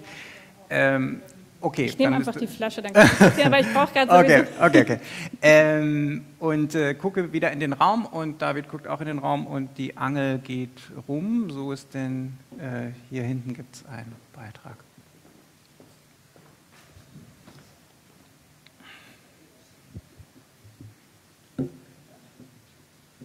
Ja, hallo, Christoph Becker vom ISS. Ähm, mich würde interessieren, wie diese Tumulte dann äh, quasi praktisch aussehen, die bei den Essen dann bei diesen Dinners äh, entstehen und ob das auf irgendeine Art und Weise wieder auch äh, ähm, beruhigt werden kann und ob diese Beruhigung auch einem System folgt und selbst vielleicht auch so Elemente von Moderation beinhaltet, die wiederum auch zu Erkenntnissen führt, die man dann weiter verwerten kann. Ähm, also ganz konkret, jetzt, weil ich sie auch hier gerade noch im Bild habe, auch wenn sie ein bisschen verschwommen sichtbar ist, ähm, in, ähm, ich habe Ihnen vorhin den einen Tischen so ein bisschen genauer erläutert mit den verschiedenen Personen. Da gab es dann tatsächlich die Situation, dass die eine rothaarige Aktivistin irgendwann von einem Mitarbeiter der äh, kommunalen Verwaltung so angegangen wurde, dass er aufgesprungen ist, Stühle fielen, er zu dem nächsten Tisch gerannt ist und so weiter. Und da tatsächlich dann auch ähm, gar nicht so viel Einschreiten kam von den Personen, die da sind. Und da ist es dann so, die Moderatorin hat immer so einen Knopf im Ohr, weil die Moderatorin im Grunde genommen ähm, meine Stimme ist. Also ich schreibe ihr Skript und ich, äh, und ich bin auch quasi die ganze Zeit im Ohr und gebe Regieanweisungen. Und das heißt, in dem Moment ähm, ähm, habe ich ihr dann wiederum auch äh, Hinweise gegeben, wie sie das dann bitte, wie sie das moderiert oder beziehungsweise, dass wir das nicht viel wird der Situation überlassen, weil das ist auch gerade, glaube ich, der Punkt. Das Ganze ist eine Plattform, wo extrem viel Vorarbeit stattfindet, aber das, was dann an dem Abend an den Tischen passiert, das wird tatsächlich auch sich selbst überlassen. Das ist sicher auch Teil dieses, es ist manchmal fast wie so ein bisschen Glücksspiel. Das kann, manche Tische können banal sein und manche sind total aktiv. Und ähm, da ist dann aber tatsächlich die Moderatorin diejenige, die das, die in dem Moment die Situation managt. Frage. Also ähm, in der sozialwissenschaftlichen Forschung gibt es ja auch forschungsethische Grundsätze, ähm, an denen man sich äh, orientieren soll. Also haben diese Personen vielleicht in analoger Weise zu diesen Grundsätzen auch die Möglichkeit, also in diesem künstlerischen Prozess das dann nochmal zu reflektieren und die, die, diese Auseinandersetzungen, in denen Sie selbst Teil waren, dann äh, vielleicht nochmal von im Nachhinein auf einer Filmaufzeichnung oder sowas ähm, dem nachzugehen, also dass für die auch ein Erkenntnisgewinn daraus entsteht und es nicht nur einfach in Rage und äh, Tumult endet. Also ja. die Moderatorin ist ein Aspekt, habe mhm. ich schon verstanden, aber gibt es da für dich auch noch ähm, als, als ähm, äh, Dinge in, dem Prozess, die unter künstlerischer Einflussnahme auch stehen und wo du, wo du das äh, noch mitsortierst, so auch dass die Personen was davon haben und nicht nur du und das Kunstwerk. Es gibt tatsächlich zwei Sachen dazu. Das eine ist, dass es mir, glaube ich, sehr wichtig ist und darauf würde ich auch bestehen, und das ist auch die, die Kraft und die Stärke der Kunst, dass es ein Raum ist, der, der sehr viel Freiheit zulässt und der auch sehr viel Raum für Ambivalenzen äh, bereithält. Und das ist, glaube ich, auch im Endeffekt der Grund, weshalb ich dann doch nie aufgehört habe, obwohl es immer oftmals fragt man sich, warum man das eigentlich macht. Ähm, und ganz konkret ist es so, es gibt eine Form des ähm, ähm, der Reflexion, aber ähm, es gibt die Einladung für alle Leute, die an dem Essen teilgenommen haben, am nächsten Morgen bei einem Kaffee so zwischen elf und zwölf zusammenzutreffen.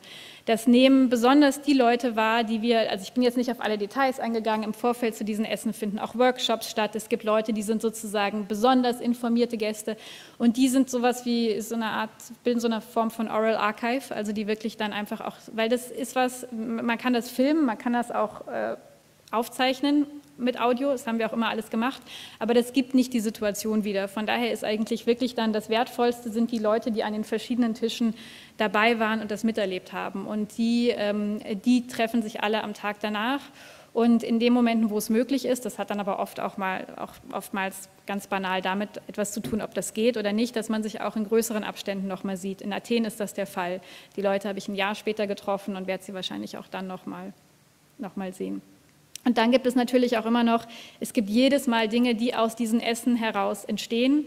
Äh, in Beirut beispielsweise gab es die Möglichkeit für ähm, eine Gruppe von Aktivistinnen dann im Anschluss an einer Gruppe ähm, der Europäischen Union teilzunehmen, wo es um die, um die, ähm, die ganzen Regularien zur Abschaffung von Plastik, um Plastikmüll gibt, was normalerweise nicht der Fall ist, denn der Libanon ist bekanntlich nicht Teil der der EU. Aber diese ganzen Sachen, die auch dann im Nachhinein passieren können oder die Folgen dieser Abendessen, die passieren selbstständig. Das ist nicht Teil der, Teil der Arbeit. Aber es gibt immer wieder sozusagen Folgen. Ich schaue in den Chat, da gibt es offenbar eine Frage, ist das richtig? Es gibt ähm, eine Frage aus dem Chat von Nicole Hohmann, äh, die sich dafür interessiert, ob es möglich war, die Beteiligten an diesem Projekt auch fair zu bezahlen. Und äh, außerdem interessiert sie sich dafür, wie, woher dieses Essen kam, ähm, ob es da auch eine Verbindung zu dem Müll gab, ob das containertes ja. Essen war. Okay, ähm, also grundsätzlich ist es so, die Leute, die äh, zu dem Essen kommen, das sind alles unsere Gäste. Jede Person wird eingeladen. Da wird kein, da wird kein Unterschied gemacht zwischen jetzt dem äh, lokalen Publikum oder den, also der äh, äh, Stadtbevölkerung Athens und jetzt irgendeinem Minister. Da wird erzähl, äh, erhält keine Person ein Honorar, sondern es ist eine Einladung zu einem mehrgängigen Abendessen, die an jeden ausgesprochen wird und die dann entweder wahrgenommen wird oder nicht. Ähm, die Personen, die sonst sozusagen im Bereich des Teams ähm, äh, Teil, Teil, des Teams und der ganzen künstlerischen Produktion sind, die werden alle, ähm, werden alle im künstlerischen Rahmen ähm, ähm, äh, ähm, richtig bezahlt und, äh, und honoriert. Und das, äh, wer auch immer zum Team dazugehört, da kommen wir jetzt dazu, ist die, ähm, sind ähm, ähm, Köche und Köchinnen, die, mit denen wir zusammenarbeiten. Die sind auch immer ähm, äh, aus der jeweiligen Stadt. Und das Menü, also um ein Beispiel zu geben, in Beirut äh, nach der unser Essen hat zwei Jahre nach der Müllkrise 2015 stattgefunden. Da haben wir uns also sehr stark mit den Langzeitfolgen der Müllkrise beschäftigt und mit den Lebensmitteln, die besonders davon betroffen sind. Zwei Beispiele. Ähm, in Beirut ist der lokale Fisch, hat so hohe, jetzt brauche ich Hilfe, Mercury, äh, nee, Quecksilber. Quecksilber, hat so hohe Quecksilberbelastung, dass äh, man den wirklich nicht essen darf.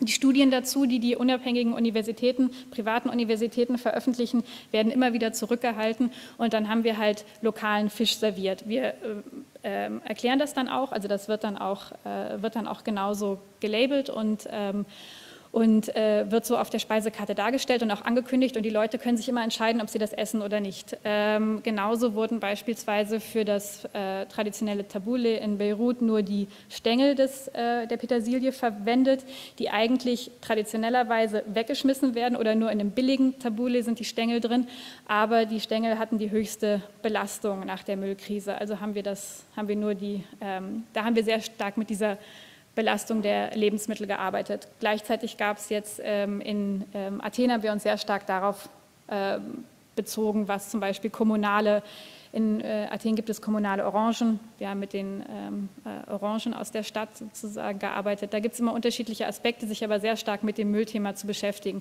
Wir haben auch Müllverbrennung, haben wir in, in ähm, Mexico City thematisiert. Da gab es eigentlich immer wieder irgendwelche Aspekte von Asche oder äh, verschiedener Müllreste im Essen.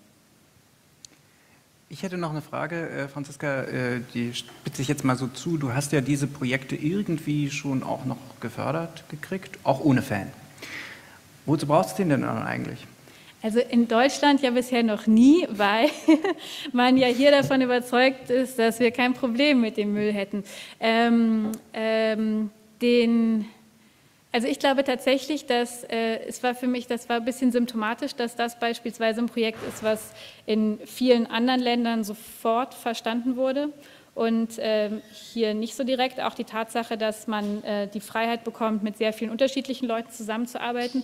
Es gab ein Projekt hier in Berlin, das hat sich allerdings mit der deutschen Kolonialgeschichte auseinandergesetzt. Das war offiziell gefördert von einer Institution, die jetzt mitten in der Stadt ein Schloss betreibt und wurde dann in der letzten Sekunde kurzfristig abgesagt. Und ähm, das heißt, ich glaube, dass es den Fan äh, bitter, äh, bitter braucht. Und um, auch gerade, um aus diesen verschiedenen Kategorien herauszukommen. Oder irgendwie, ich meine, es gibt jetzt natürlich verstärkt, gibt es irgendwelche Förderprogramme, wo man sich dann genau den einen Partner oder denjenigen raussuchen kann. Aber einfach wirklich zu sagen, man kann über einen langen Zeitraum, der einem einfach auch die Freiheit ähm, bringt oder die, die Freiheit bietet, dass etwas schief geht. Das ist ja, das ist ja was, das gibt es im Theater teilweise noch, das gibt es in der bildenden Kunst wirklich nicht. Wenn man Fehler macht, ist man raus aus dem System. Und dass man aber da wirklich auch diese Möglichkeit hat, längerfristig an etwas zu arbeiten, was äh, Fehler oder Experimente mit einschließt, das ist wirklich das, was grandios wäre. Vielen Dank. Kann ich. Äh Wer, hat sich. Ah, es gibt noch eine. Äh, übrigens, ich wollte kurz an, den, an die Menschen im Chat äh, die Nachrichten, also so wie das jetzt läuft, mit in den Chat schreiben und Theresa liest das vor. Das ist die eine Variante. Aber wenn Sie gerne sich selbst zu Wort melden möchten, dann können Sie das auch tun. Dann schalten wir Sie frei und dann hören wir Sie hier in diesem Raum. Aber gut, jetzt liest mal vor. Eine Frage noch von Falk Schmidt. Ähm, er schreibt eine etwas schnöde Frage. Wer hat denn das Projekt finanziert und ist es eine Serie über mehrere Jahre und Städte? Okay, ähm, ich glaube ja immer daran, dass es total sinnvoll ist, das alles transparent zu machen. Also Nummer eins, ähm, ähm, äh, Mexico City war eine äh, Kooperation, also da ist deutsches Geld reingeflossen, Goethe-Institut plus ähm, das äh, MUAC, also das äh, Museum der dortigen öffentlichen, also der UNAM-Universität. Ähm, Beirut war die ähm, Sharjah Biennale, die in Sharjah stattfindet, aber gleichzeitig Satelliten hatte. Ähm, und in Griechenland war das die ähm, Onassis äh, Foundation, die ja da gerade halt auch in Griechenland nach der Finanzkrise die Kulturwelt zwischen zwei privaten Stiftungen aufgeteilt wurde, Niakos und den Onassis. Und da waren wir Gäste der Onassis Stiftung. Gut, ich nehme jetzt mal das äh, Stichwort Biennalen als Überleitung zu dem nächsten Impulsreferenten, der, glaube ich, auf äh, mehreren seine, äh, weiß man gar nicht, ob man sagen soll, Werke oder seine, jedenfalls seine Interventionen zeigen konnte. Benjamin Förster-Baldenius ist Architekt. Das ist ja eine Kunst, die auf der Rangordnung der philosophischen Ästhetiken immer ganz unten landet, obwohl sie unsere Wirklichkeit, zumal die städtische, wahrscheinlich am unmittelbarsten prägt und äh, gestaltet. Ähm, er hat, äh, ist, würde ich sagen, ja, seit, wenn man seit über 30 Jahren in Berlin ist, dann ist man im Grunde Berliner und äh, hat hier auch das Netzwerkkollektiv äh, Raumlabor äh, gegründet, was dem einen oder der anderen vielleicht ein Begriff ist. Äh, ich konnte mir, eigentlich bin ich so nicht so ein Fan von Preisen und so, aber mit dem Schelling Architekturpreis, das konnte ich mir bei der Ankündigung jetzt auch irgendwie nicht verkneifen. Das ist schon äh, ein bedeutender Preis für Architektur, Architekturtheorie, den er auch erhalten hat. Übrigens zusammen mit Manuel Castells, einem ganz großen und wichtigen Stadtsoziologen. genau, ich. ja, ernsthaft, den habe ich na dann bitte, Adrienne, sag nochmal. Äh, das, äh, das, kannst du jetzt selber sagen, Benjamin, dann nochmal den ganzen. Äh, äh, du hast das Wort. Ohne PowerPoint finde ich auch gut. Ja, ähm, danke, dass ich hier reden darf. Hallo Internet. Ähm, ja, äh, soll ich damit anfangen? Ja, also wir haben äh, vor, vor drei Wochen einen Anruf bekommen. Ähm, das war irgendwie ein Sonntagnachmittag. Ich stand gerade im Garten und habe einen Graben gebuddelt. Und ähm, da rief mich mein Kollege Markus an und sagte, ey, da hat gerade die äh, Venedig-Biennale ähm, bei mir angerufen, wir sollen morgen in Venedig sein. Super nachhaltig. Ähm, und ähm, ähm weil man da natürlich nicht mit dem Zug fahren kann. Äh, da gibt es einen Preis, äh, weil wir haben da mal wieder in dieser äh, Venedig-Architekturbiennale in dem Fall äh, an der Ausstellung teilgenommen und äh, wir sollen da hinkommen. Die konnten uns aber nicht sagen, was das für ein Preis ist. Und ähm, dann haben wir so, haben uns abends getroffen, als alle dann ihre Sparten beiseite gelegt haben und äh, haben so ein bisschen recherchiert und es gibt tatsächlich so verschiedene Preise. Es gibt so einen goldenen Löwen fürs Lebenswerk. Und ich dachte, hm, wird es vielleicht nicht sein. Es gibt den äh, goldenen Löwen für den besten Länderpavillon. Das konnte gar nicht sein, weil wir haben keinen Länderpavillon gemacht. Ähm, und dann gibt es so lobende Erwähnungen und es gibt den goldenen Löwen, nee, den silbernen Löwen. Ähm, es gibt einen silbernen Löwen für die beste Nachwuchsarchitektur.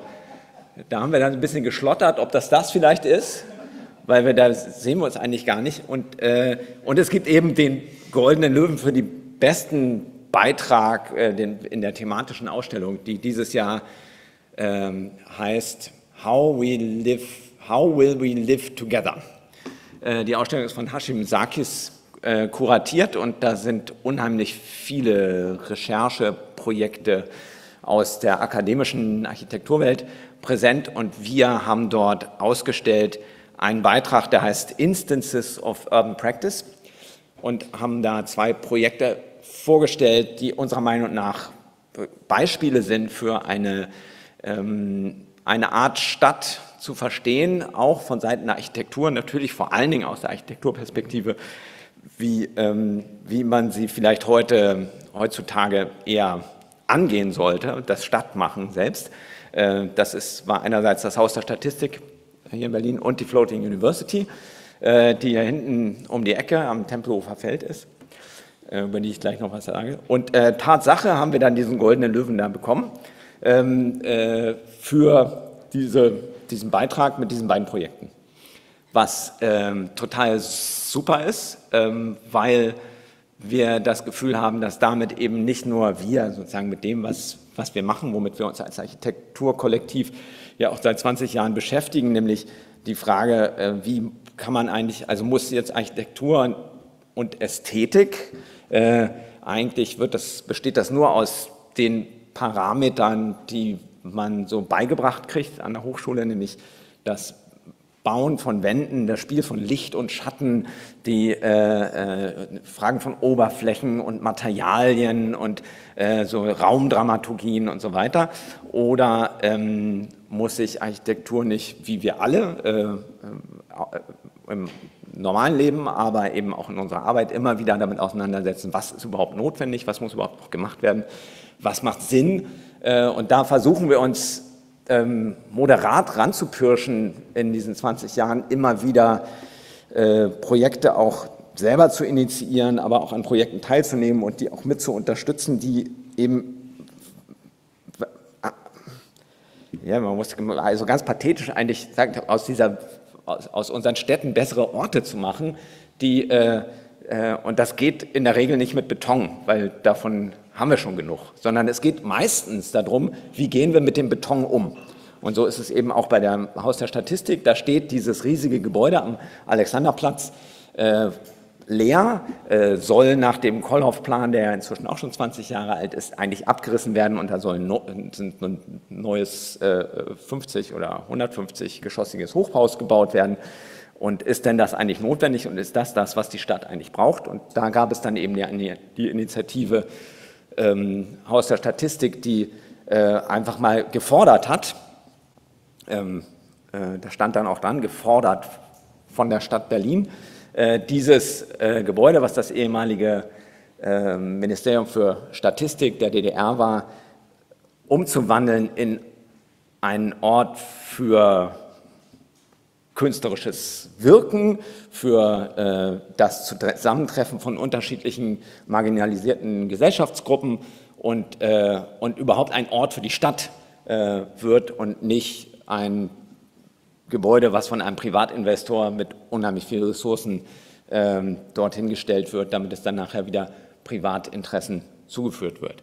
Und ähm, das ist eigentlich total erstaunlich, dass dieses äh, Projekt jetzt äh, schon die, in die zweite Legislaturperiode äh, überführt wird und ähm, inzwischen auch eine Bedeutung gewonnen hat innerhalb der Stadt, wo sowohl der Bezirk Mitte als auch die Stadt Berlin zusammenarbeiten mit der Berliner Immobilienverwaltung und, ähm, und, einem, und äh, einer Trägerinstitution und äh, dieser Initiative Zusammenkunft, also Haus der Statistik, die inzwischen sich umformiert hat zu einer Genossenschaft, die äh, Zusammenkunft,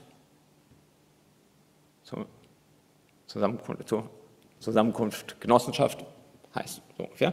Äh, und, ähm, äh, und, äh, dort, und dort wirklich gemeinschaftlich und kollaborativ in einem langwierigen Prozess, der natürlich auch viele Nerven kostet und viele Ungereimtheiten äh, aus dem Weg geräumt werden muss und dann auch ganz viel verlernen muss darüber, wie wir, wir und die Stadt und auch die Stadtverwaltung und auch die Stadtpolitik äh, aber auch wir als, äh, als Künstler, Künstlerinnen, Architekten eigentlich äh, bisher immer gedacht haben, dass Raumproduktion funktioniert.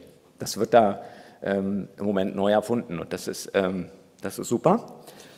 Das andere Projekt, was wir da präsentiert haben, ist das, ähm, die Floating University, was ein ähm, bisschen seltsamer Ort ist in einem vergessenen Regenwasserrückhaltebecken, was wo das Wasser vom Flughafen Tempelhof reinfließt, äh, also von den ganzen ähm, betonierten Flächen, den versiegelten Flächen, äh, wird das Wasser gesammelt und damit nicht äh, wie eigentlich ja ähm, mehrmals jedes Jahr die Berliner Kanalisation überläuft.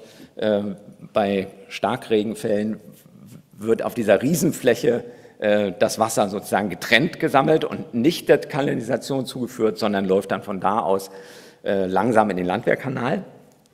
Ähm, das ist ein Becken, was da seit über 50 Jahren ist oder 60 Jahren, also seit, eigentlich seit der Flughafen ausgebaut wurde in den Ende der 30er Jahre.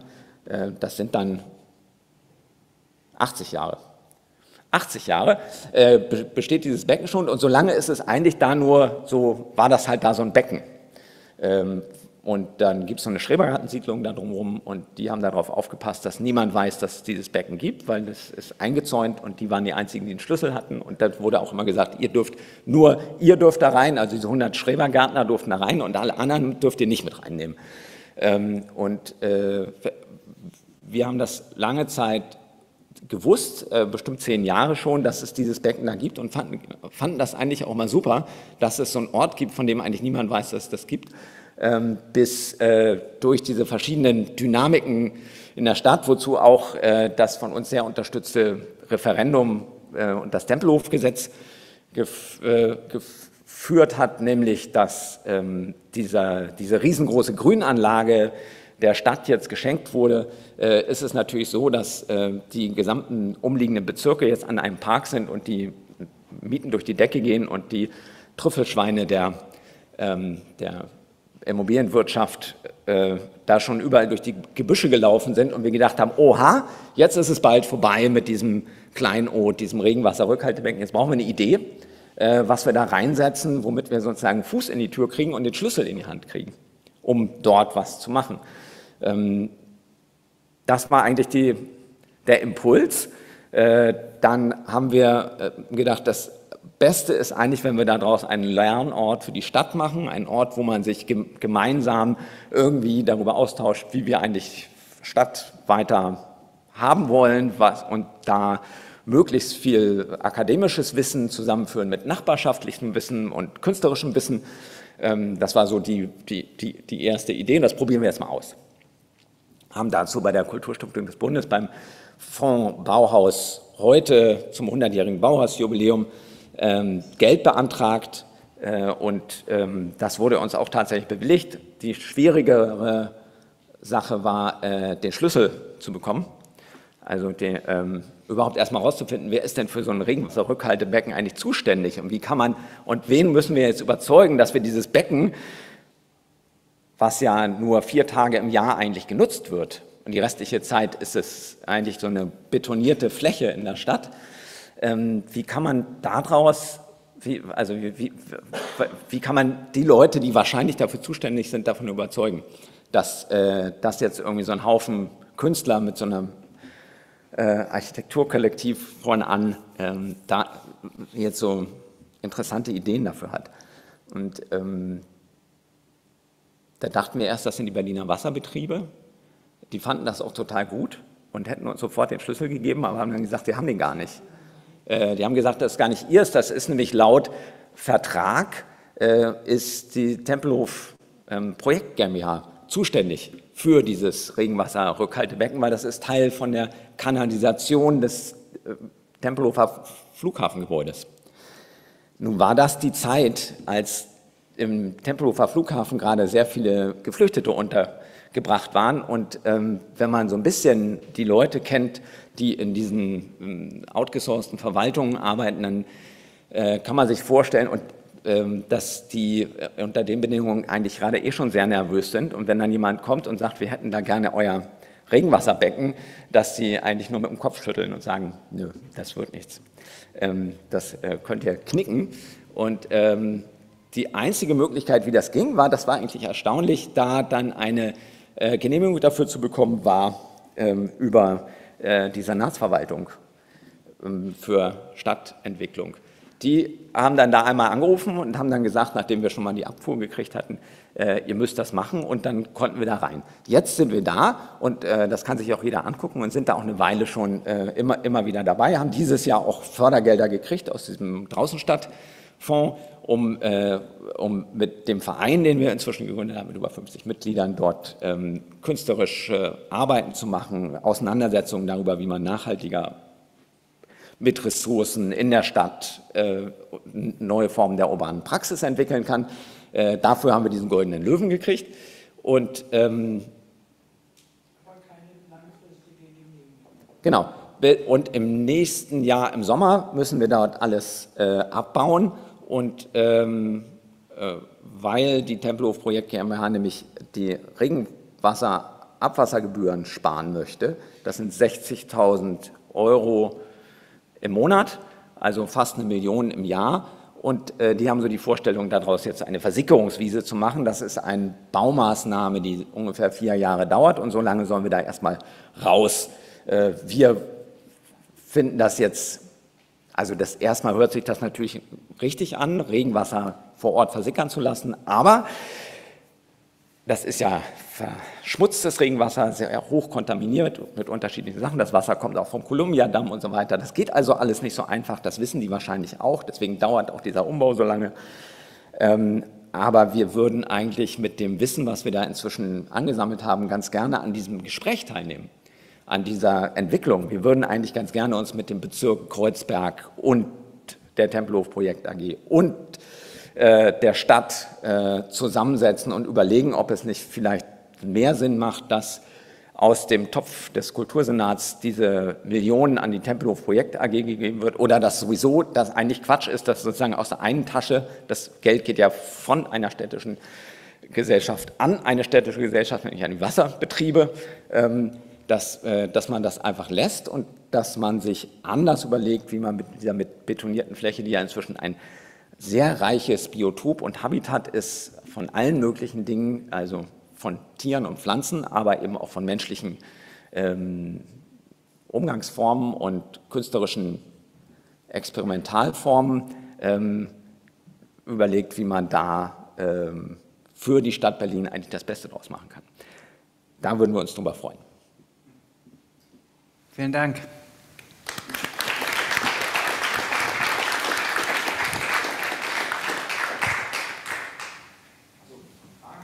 Ja, wir sollten die Gelegenheit zu Fragen und auch Kommentaren geben.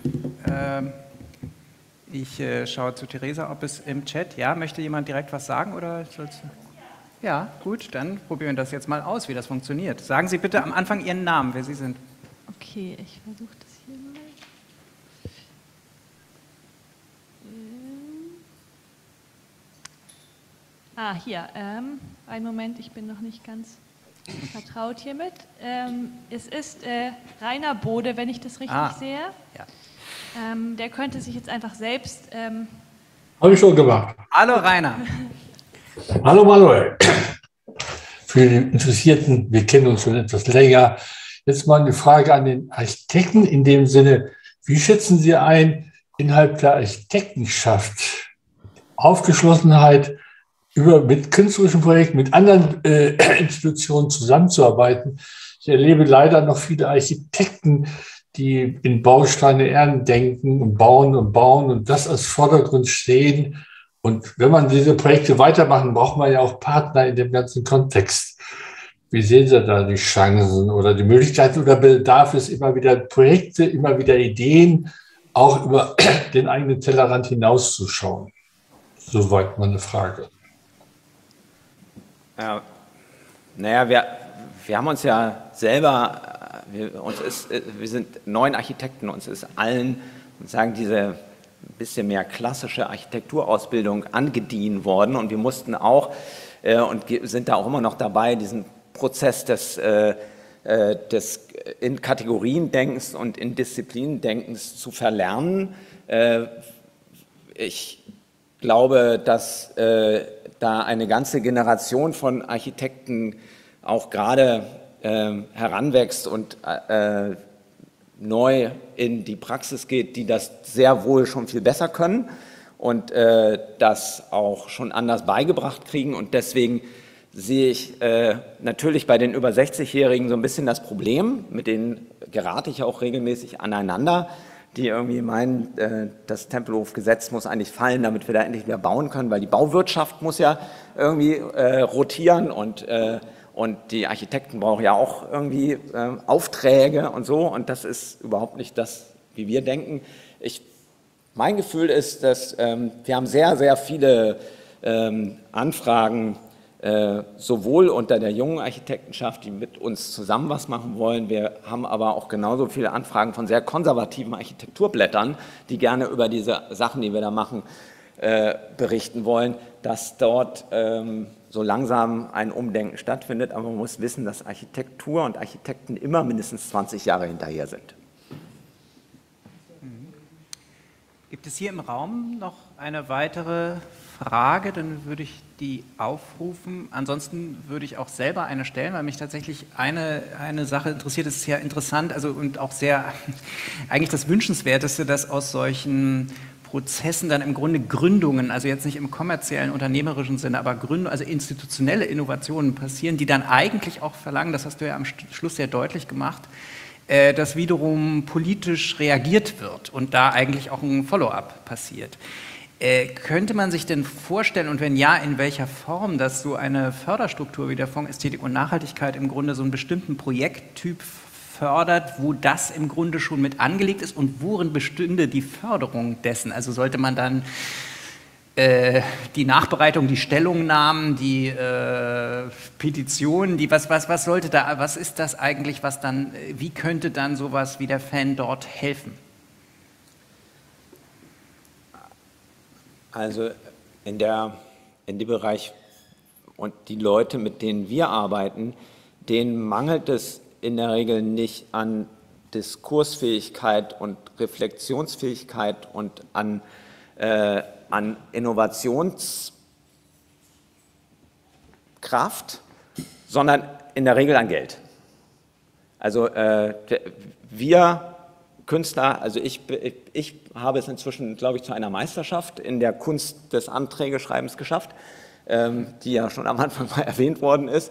Äh, äh, wir beschäftigen uns die ganze Zeit damit, wo kommt irgendwie für die nächste Idee äh, eigentlich mal diese Kohle her. Und das ist das eine und das andere ist natürlich Raum. Also Geld und Raum, das wussten schon in Mitte Dolly Leupold und Jutta Weiz. Darum geht's. Künstler brauchen das und ohne die hätte es äh, diese reiche äh, Kunstszene in Mitte nicht gegeben. Ähm, insofern glaube ich, man muss einfach vertrauen, dass das, was da an äh, künstlerischer Arbeit in diesem Gebiet stattfindet, ähm, äh, sehr, sehr viele neue Impulse geben kann. Äh, wir brauchen, wie Franziska schon sagte, wir brauchen für einige Sachen Zeit. Also man kann das nicht mit dieser Kurzatmigkeit machen.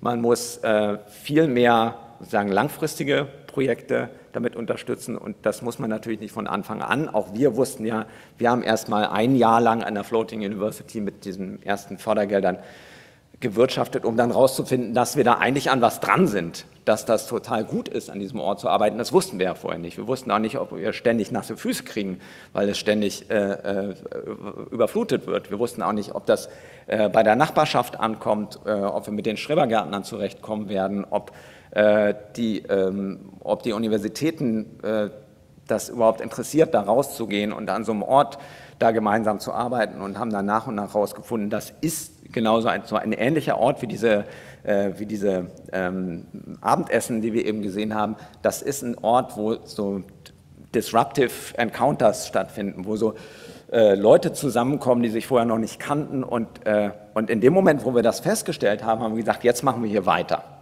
Und dann äh, ist aber die Frage, wie geht denn das jetzt eigentlich? Eine Anschlussförderung gibt es nicht. Äh, man kann ein Projekt nicht zweimal beantragen. Man, kann, äh, man muss immer wieder ein neues Projekt beantragen. Und äh, das ist eigentlich total Quatsch. Ich glaube, das muss dann, man, wenn, es müsste eigentlich genau andersrum sein, wenn man mit einem ersten Projekt herausgefunden hat, dass, das, äh, dass man an einem guten Thema dran ist, was irgendwie wie so einen Schneeballeffekt haben kann, dann müsste man eigentlich, dann, müsste, dann bräuchte es eigentlich den nächsten Vorderschritt, wo man nochmal das Doppelte oder Dreifache an Geld kriegt, um das richtig auszubauen.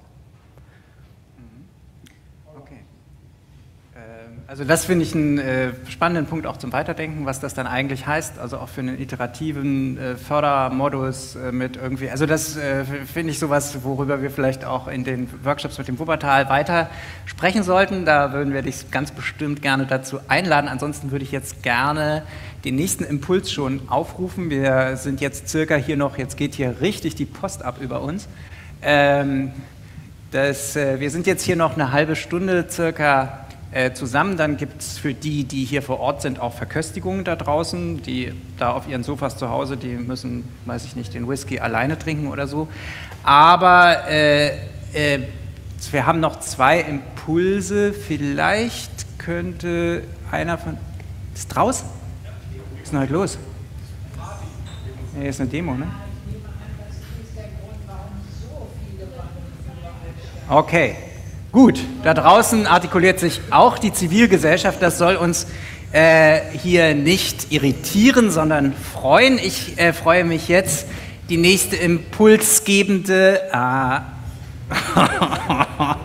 das ist Berlin, ähm, anzusagen, das ist äh, Christa Liedke. Äh, Christa Liedke ist äh, promovierte Biologin und äh, Professorin äh, und am Wuppertal-Institut, das habe ich vorher schon gesagt, leitet sie die Abteilung Nachhaltiges Produzieren und Konsumieren. Schaffen wir das trotzdem, Christa? Ja, ne, das schaffen wir. Äh, du musst. Du musst wahrscheinlich, also für die im Chat, die das jetzt vielleicht nicht mitkommen, wir sind hier quasi in so einer Art äh, äh, Revival der Love Parade. Das, das, müsste man sogar im Chat mitbekommen. Äh, mit dem Mikro kommt man da ganz gut drüber und man muss dann eben in so einen bestimmten Rhythmus reingehen im Sprechen. Und, äh, aber nochmal zu Christa, ich finde ganz interessant, äh, dass sie tatsächlich nicht nur am Wuppertal diese Abteilung äh, leitet, wenn ich um die Aufmerksamkeit bitten dürfte. Ich finde es dann auch äh, der Höflichkeit halber, das werden wir jetzt irgendwie einfach ignorieren, ähm, äh, die sich äh, mit äh, Produkt und äh, Produktdesign, integrierten Roadmaps für Unternehmen, ihr macht ja wirklich alles ganz, ganz stark, auch vis-à-vis der Wirtschaft, Reallabore. Das Wuppertal-Institut, wenn ich das nochmal sagen kann, ist ja sowas wie ein Elternteil der ganzen transformativen Forschung, weil das wirklich diese angewandte Perspektive auf Nachhaltigkeitsforschung ganz wesentlich mit von diesem Institut gekommen ist in den 90er Jahren. Äh, du bist da schon auch, wenn ich äh, das richtig sehe, schon sehr, sehr lange Zeit. Und du bist aber auch nebenberufliche Professorin äh, an der Volkwang Universität der Künste in Essen, wo du Nachhaltigkeitsforschung im Design lehrst und gehörst natürlich auch zu den Unterstützerinnen des Fans, was uns sehr freut. Und du hast hiermit das Wort. Herzlichen Dank. Ich hoffe, Sie können mich alle verstehen. Und ich werde ja jetzt gerahmt sozusagen von der Zivilgesellschaft. Das hat ja auch was für sich, wenn die Wissenschaft gerahmt wird von der Zivilgesellschaft. Ähm, ja, mein Name, wie gesagt, ist Christa Dietke. Ich bin eigentlich Naturwissenschaftlerin ähm, und spreche jetzt aus der Nachhaltigkeitsforschung zu Ihnen, ähm, leite eben den Bereich nachhaltiges Produzieren und Konsumieren. Das ist auch ein Bereich, wo man viele Anträge stellen muss und wo sozusagen der Geldsegen in der Forschung wächst. Das ist ja auch sehr schön. Also in den kleinen Fächern hat man ja häufig Schwierigkeiten, dass auch da Zugewinne sind. Und wir das Glück haben, dass wir am BMBF ja auch schon solche Förderprogramme haben wie die sozial-ökologische Forschung. Das muss man mal ganz klar sagen, weil sonst natürlich auch so ein Bereich möglicherweise ähm, sich nicht so entwickeln könnte, wie er jetzt auch dasteht. Ähm, das heißt, wir schreiben auch ganz viele Anträge, da treffen wir uns dann wieder sozusagen. Und äh, dieses Geschäft ist natürlich auch ein durchaus anstrengendes und hartes, weil man da natürlich auch sein Brot mit verdienen muss. Und gleichzeitig aber auch die Ideen, die einem im Kopf schwören, was zu tun wäre jetzt, wie zum Beispiel Reallabore, das ja ein relativ neues Setting noch ist in der Wissenschaft, oder äh, Citizen Science, ähm, da haben wir jetzt ähm, äh, schon die nächsten Entwürfe auch, ähm, wie das sozusagen methodisch auch besser gefasst und gerahmt werden kann.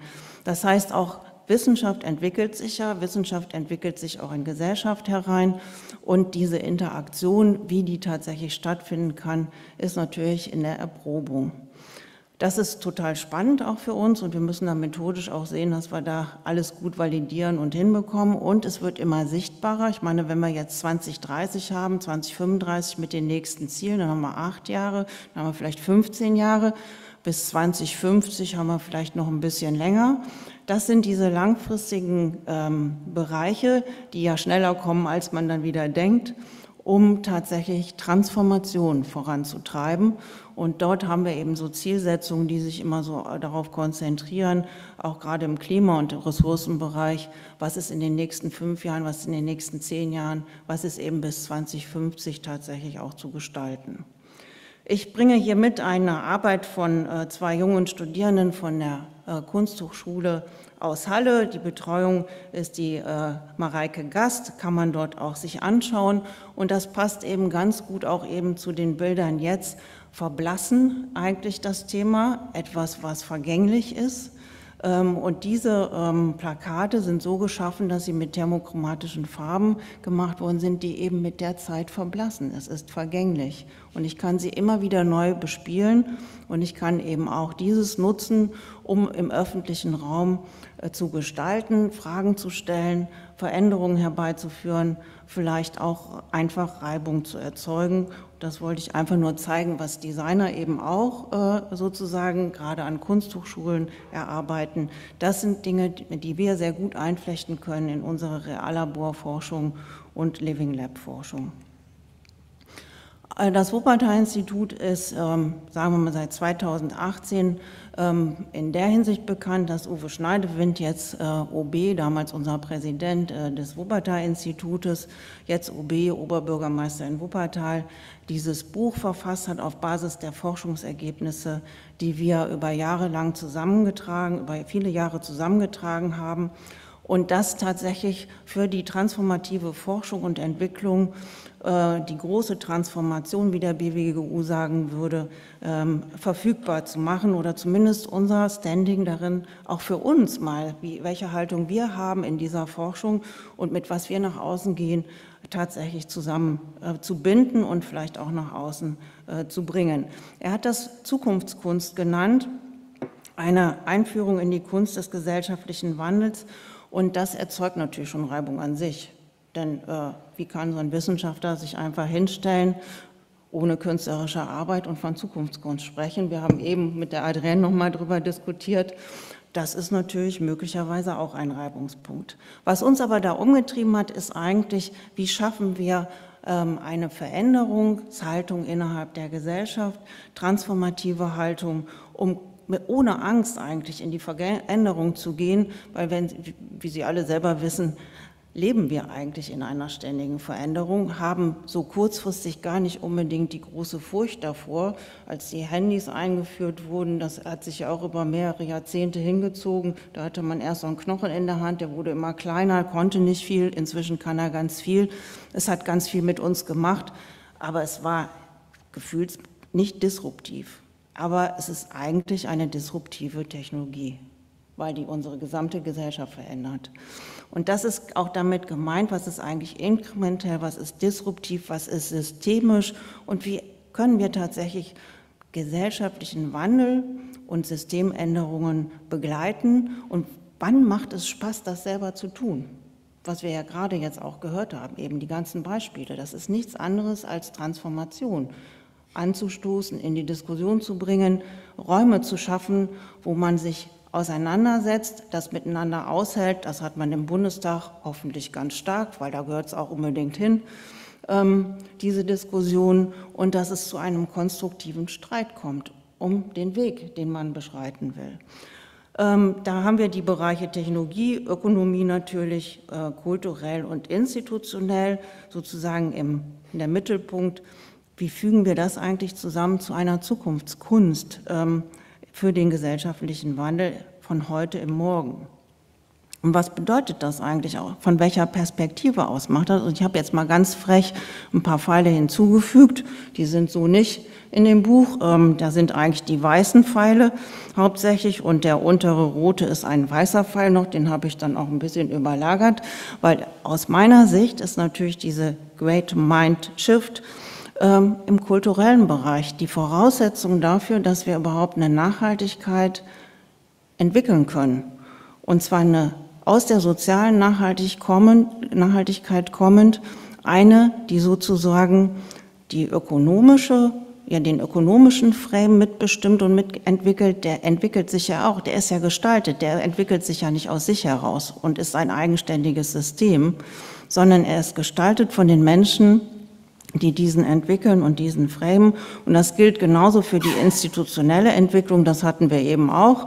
Was bedeutet das denn dann institutionell, wenn man eine Genossenschaft meinetwegen dann vielleicht äh, zusammenbindet, die bestimmte Ideen vorantreiben will? Dann braucht man einen Ankerpunkt, um dieses zu tun, möglicherweise eine Förderung und möglicherweise auch ein Geschäftsmodell. Und was bedeutet das technologisch? Also welche Technologien wollen wir nutzen, um diese Transformation anzutreiben und wie wollen wir diese gestalten? Das ist mit Zukunftskunst gemeint und die roten Pfeile sollen eigentlich sagen, dass das der Ankerpunkt ist. Und wenn wir das nicht hinkriegen, werden auch unsere Gesellschaften instabil. Das hier ist, denke ich, wohl bekannt eigentlich. Wo müssen eigentlich die Wenden stattfinden? Das sagt auch die deutsche Nachhaltigkeitsstrategie von 2021, hat sechs ich meine, sechs Transformationsbereiche und fünf Hebel dazu definiert. Und das sind sozusagen die Bereiche, wo wir jetzt als Wissenschaftler sagen, aus der Nachhaltigkeitsforschung kommend, da müssen wir richtig ranklotzen, um überhaupt tatsächlich einen Morgen zu ermöglichen. Aber was sollen wir Wissenschaftler machen? Wir bauen so Windkrafträder meinetwegen und Windkraftanlagen. Und die Frage ist, was macht man damit in einer Landschaft? Was macht man damit innerhalb äh, sozusagen einer Energiewende und müssen die tatsächlich so aussehen oder könnten sie auch ganz anders geformt sein, wenn sie sozusagen in Kunst und Kultur in der Gesellschaft grundlegend entwickelt worden wären. Äh, sozusagen Windkraft zu nutzen äh, für das Morgen. Wir hatten eben schon den Bezug das ist, äh, sind die Vereinten Nationen und die Agenda 2030, ähm, die Sustainable Development Goals, die darauf einzahlen. Ich habe die ein bisschen sortiert ähm, nach den entsprechenden Feldern. Und man sieht natürlich auch, dass hier soziale Gleichheit und Gerechtigkeit ein ganz wichtiger Punkt ist ähm, Gesundheit ähm, ein Bereich und natürlich im Bereich Produktion und Konsum, Klima und Ökosysteme, dass diese Bereiche ineinander greifen müssen, sonst bekommen wir auch die Klimawende und den Schutz der Ökosysteme gar nicht erst hin. Wir brauchen dafür eine kompetente Gesellschaft und gleichzeitig sind wir noch nie vorher so kompetent gewesen wie heute. Und die Frage ist, warum wir diese Kompetenzen nicht abrufen und tatsächlich integriert nutzen, und zwar aus allen Bereichen heraus, um eine Nachhaltigkeit tatsächlich für die Gesellschaften dieser Welt zu erreichen. Ein Beispiel, als ich ans Wuppertal-Institut gekommen bin, ich habe ähm, in der Biologie, in der Zellbiologie, in der Zytologie promoviert, kam ich aus dem Labor und am Wuppertal-Institut wurde diskutiert über Sandhaufen, Mäusefallen, Atomkraftwerke, Autos, Wasserstoff, keine Ahnung was alles. Und wie wir sozusagen bemessen können und bewerten können, welchen Einfluss das auf äh, die Ökosysteme hat und deren Funktion. Ähm, ich habe gedacht, zuerst, Sie sind alle hier bekloppt. Ich kam ja sozusagen von den Nanogramms und bin in die Megatonnen gegangen. Und was damals war, war wirklich eine harte Diskussion und Streit in der Wissenschaft, ähm, ob das, dieser Blick auf die Ressourcen, die wir hatten, wirklich legitim ist. Also man muss sich auch als Wissenschaftler durchkämpfen. Es ist nicht so, als wenn das sofort gesetzt wäre. Und der Sand, der hat mich mein Leben lang sozusagen als Wissenschaftler, auch Wissenschaftlerin wieder begleitet. Und heute wissen wir, im Grunde genommen 30 Jahre danach, schon vielleicht vor fünf Jahren und vielleicht auch schon länger her, dass Sand tatsächlich eine rare Ressource ist für uns inzwischen und wie wir sie verwenden, eben nicht nachhaltig ist. Das heißt, egal welche Ressource ich nehme aus der Natur, hat sie einen Wert für sich und ich kann nicht im Jetzt schon bestimmen, ob sie im Morgen denn irgendein Problem bereiten würde. Also die Vorsorgeorientierung ist eine sehr wichtige und immer wieder diese zu reflektieren. Das jetzt eine ähm, jetzt muss ich mal eben zurück, wo geht's zurück? Ähm, eine ähm, Designerin aus von der EcoSign in Köln als Diplomarbeit gemacht. War sehr, sehr schwierig technisch, die Sandkörner tatsächlich in ein solches Objekt auch entsprechend miteinander verknüpfen zu können. Das sind so Grafiken, die mache ich als Wissenschaftlerin ganz gerne. Ähm, ist vielleicht nicht ganz so gewünscht äh, im Bereich des Designs. Die stöhnen dann auch immer, wenn ich damit komme. im künstlerischen Bereich vielleicht auch nicht. Aber ich habe mir erlaubt, einfach mal hier zu machen. Wir sind auf der linken Seite in dem blauen Feld im Heute. Man sieht auch aus der Arbeit von, äh, von der äh, Kunsthochschule Halle, von Valena Ammon und Edda Rabold in dem äh, Videoclip eben solche Bilder. Wir haben eben darüber gesprochen, Beton, Beton, Beton. Und auf der anderen Seite eben im Morgen diese Auseinandersetzung genau mit diesen Dingen, um sie anders zu gestalten, um sie rekonstru zu rekonstruieren, um sie vielleicht zu demontieren wieder genau neu zu gestalten, aber mit dem Material, was man einmal schon benutzt hat, was schon einmal in der Technosphäre ist. Wir haben einen öffentlichen Raum im Jetzt, wir haben eine beharrende, beschleunigte Welt im rasenden Stillstand und wir haben so etwas wie eine Kompetenz für Fahrtabhängigkeiten und inkrementelle Veränderungen. Und da, wo wir gerne hin möchten, auch als Wissenschaftler in der Gestaltung und auch gerade als in den Designwissenschaften, ist es doch tatsächlich, einen öffentlichen Raum bereitzustellen, den wir alle miteinander gestalten können, dass wir eine gestaltete Welt in Veränderung haben, weil sie ist immer in Veränderung, sie muss auch in Veränderung sein, weil wir uns auch entwickeln, aber das eben mit einer Haltung und diese Haltung auch explizit zu machen, damit sie erkennbar ist und transparent. Das haben wir ja bei Ihren Beispielen sehr deutlich auch gesehen. Das heißt, wir brauchen Kompetenzen für Gestaltung, Resilienz und systemische Veränderung. Ich habe jetzt mal nicht Innovation geschrieben, dann können wir uns über den Innovationsbegriff aus den Wissenschaften lange unterhalten. Deswegen habe ich einfach mal Veränderung geschrieben. Und dazu brauchen wir so etwas wie, wenn wir jetzt zwischen Wissenschaft und Kunst sprechen, dass wir Interaktionsräume haben in der Gesellschaft und mit der Gesellschaft und dass wir aber auch Konstruktionen entwickeln, wie wir miteinander zusammenarbeiten können und gemeinsam gestalten können. Uns fehlen die Formate dafür.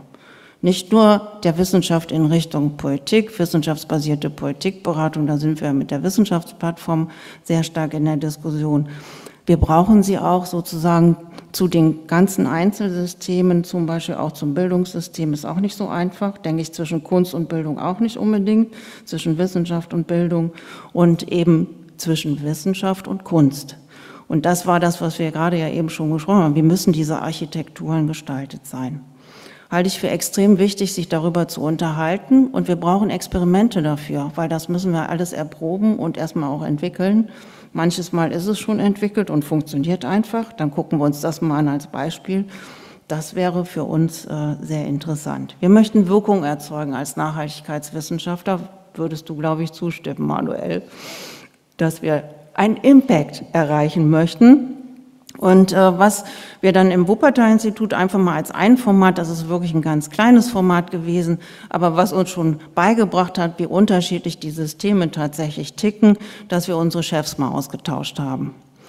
Ähm, und ähm, ich weiß noch sozusagen, dass äh, Berthold Schneider ähm, sehr erstaunt war. Bei uns kommt, ist ja so, ich meine, wer im Wissenschaftsbereich arbeitet, weiß, die Leute gehen ganz gerne in ihre Büros, gehen schnell zu ihren Computern und hacken da irgendwas rein. Ja, so.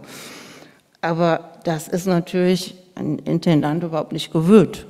Das ist äh, ja gar keine Zusammenkunft. Also finden Sitzungen statt, da sitzen auch alle auf Stühlen und manchmal ist man auch an einer Tafel und malt. Klar, das gibt es auch. Wir haben auch Co-Creation Sessions natürlich.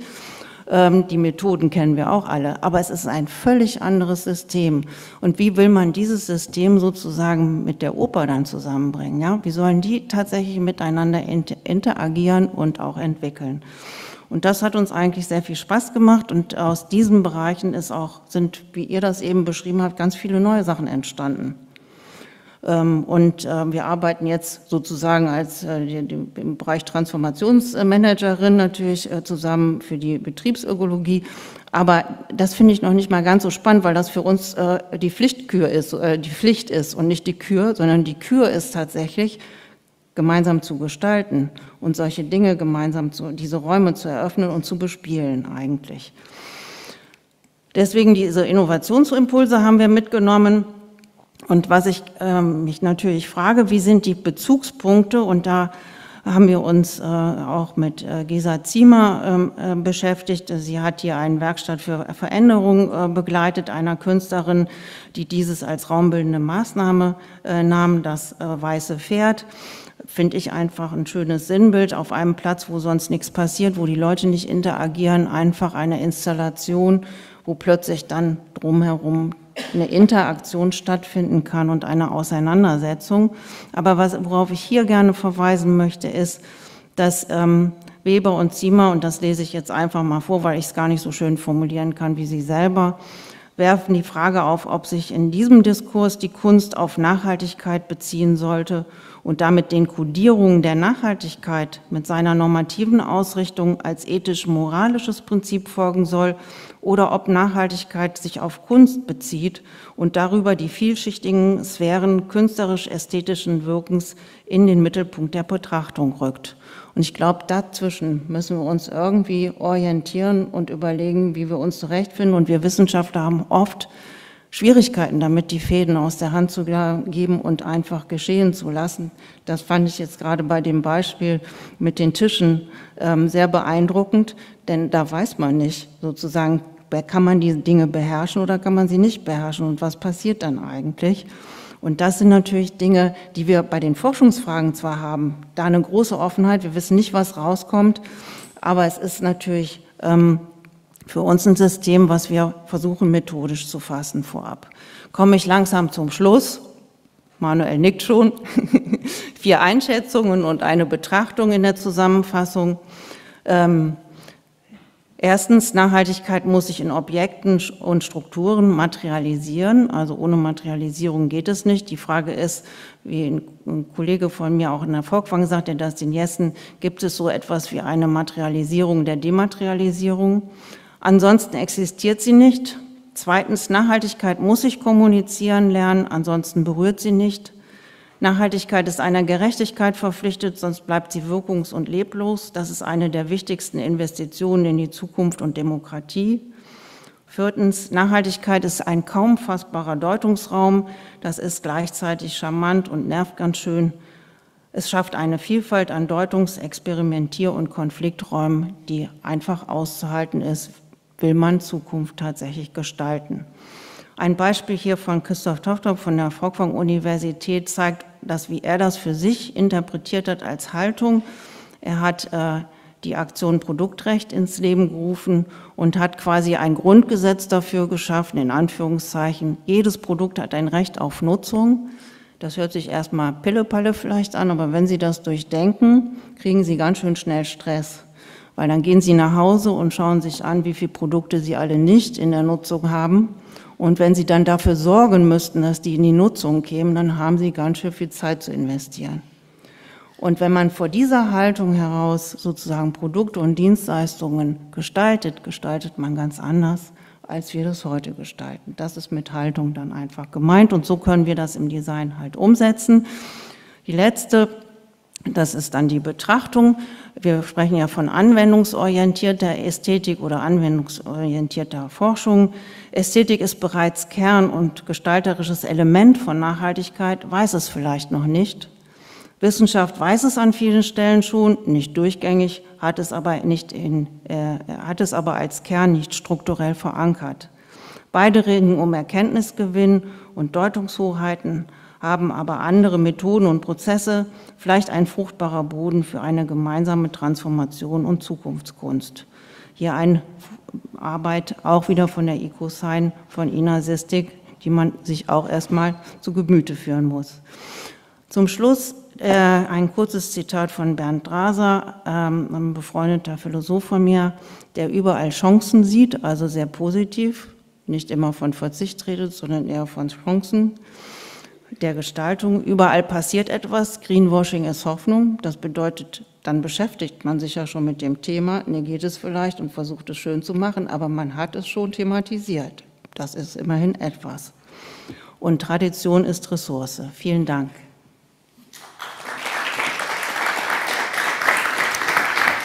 Danke, Christa. Ich sage äh, was zum Zeitmanagement. Wir haben heute eine Viertelstunde später als geplant angefangen äh, und werden also auch so circa eine Viertelstunde später aufhören. Also 1945, 1950 äh, würde dann der Hammer fallen und die Tür zum Buffet sich öffnen. Ähm, ich äh, gucke wieder in die Runde, ob es äh, Kommentare oder Fragen zu dem gibt, was Christa Liedke waren ja sehr dichte Brühwürfel, würde ich fast sagen, die wir jetzt äh, in den nächsten Monaten vielleicht in so einer gemeinsamen Brühe zusammen aufkochen sollten, weil es wirklich so waren die, auch diese Thesen unglaublich äh, stark.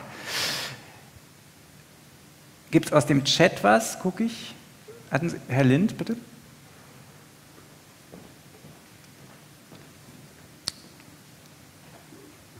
muss ja als Wuppertaler was sagen, also aus Lokalpatriotismus. Aber ich sage jetzt nicht zu dem Wuppertaler Reallaborsituation, da gibt es ja genug Anlässe, das äh, zu tun, aber es ist ja immer gut, auch Wuppertal nach Berlin zu tragen. Ich finde nur als Dimension, ist ja eine sehr dichte Beschreibung im Sinne von Clifford Gertz, wie Sie das geschildert haben, also unterschiedliche Aspekte.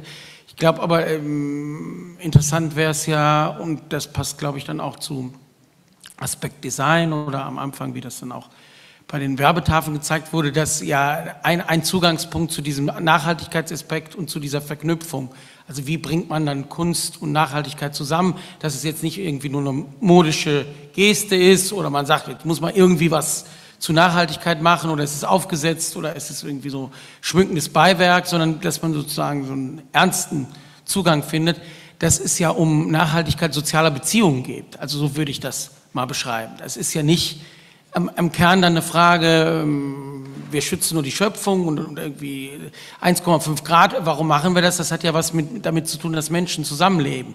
Und auch die Art und Weise, dass sie überhaupt noch leben können, dass sie zusammenleben können. Und, und viele Punkte, ob Mobilität oder anderes, lassen sich aus meiner Sicht sicher sehr vereinfachen, aber auf eine nachhaltige Form des Miteinanderlebens, Wirtschaftens, Existierens, Kommunizierens äh, zurückführen und, und sind, haben dadurch einen Zugang, weil es neue Formen sind, miteinander umzugehen. Und da, das hat ja ethische Dimensionen, das, das kann man, glaube ich, ziemlich gut äh, durchspielen. Und das finde ich tatsächlich auch wichtig und ist auch durchaus abgründig in Bezug auf Kunst und Kultur, weil sie dazu Zugänge schafft, weil ja immer wieder in, in Frage gestellt wird, neu ausgelotet wird, dass sich zueinander setzen von Menschen, und da kann ich jetzt wieder Wuppertal bringen, Pina Bausch, wer das Tanztheater von Pina Bausch kennt, dass es genau darum geht im Kern. Wie finden sich Menschen neu und tarieren sich zueinander aus. Aber es heißt dann auch in Bezug auf den Kunst- und Kulturzusammenhang und dann aber auch die Förderung, ähm, wie weit ist das tatsächlich so? Also wie demokratisch sind kulturelle Strukturen? Wie gehen wir miteinander um in Wissenschaft und Kultur? Wie sehr leben, existieren wir auf der Basis von Ausbeutung? Ob das politisch induziert ist oder teilweise dann auch eigene Strukturen, patriarchale Muster, ist ja ein Thema, das nicht abwegig ist, sondern das aktiv läuft und auch schon an vielen Städten, auch in Berlin und anderswo ausprobiert wird. Aber ich glaube, das wäre ein Zugangspunkt, um unterschiedliche Leute zusammenzubringen, dass diese, diese ähm, zwischenmenschliche, soziale Dimension ein Scharnier wäre, das zeigt, dass das kein künstliches Miteinander ist, sondern eins, das aus den beiden Bereichen von sich heraus wächst.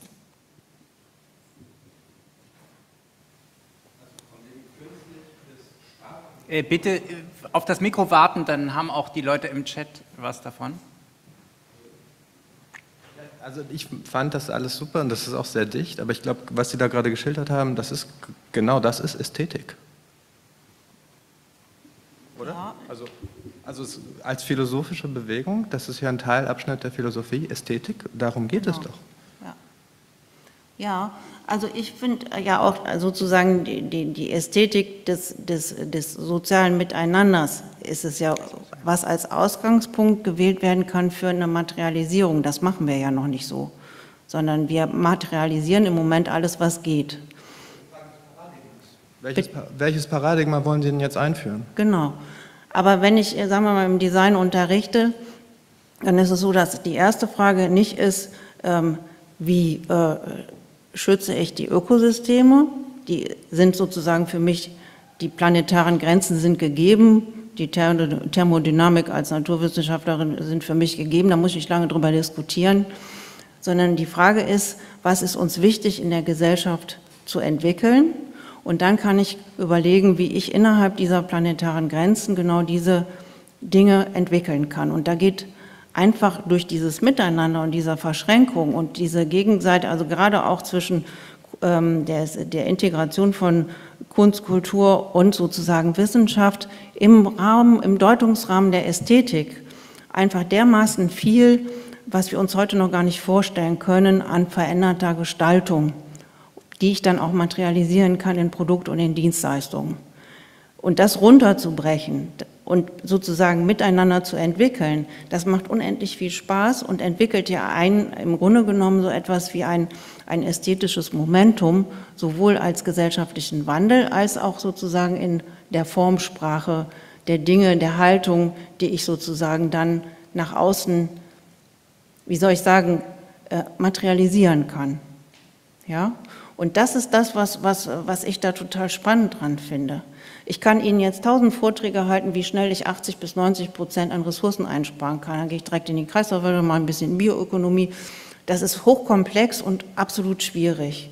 Aber wenn ich das nicht so mache, dass die Menschen davon berührt sind und sie im Mittelpunkt dessen stehen, dass wir die Frage stellen, wie wollen wir eine Demokratie weiterentwickeln mit Freiheitsrechten. Und das kann nur mit kompetenten Menschen und Personen und Individuen und kollektiven Intelligenz passieren, sonst funktioniert das Ganze nicht. Und das ist deswegen so wichtig, weil dann äh, Kunst und Kultur uns die Möglichkeit gibt, diese Auseinandersetzungen zu führen überhaupt.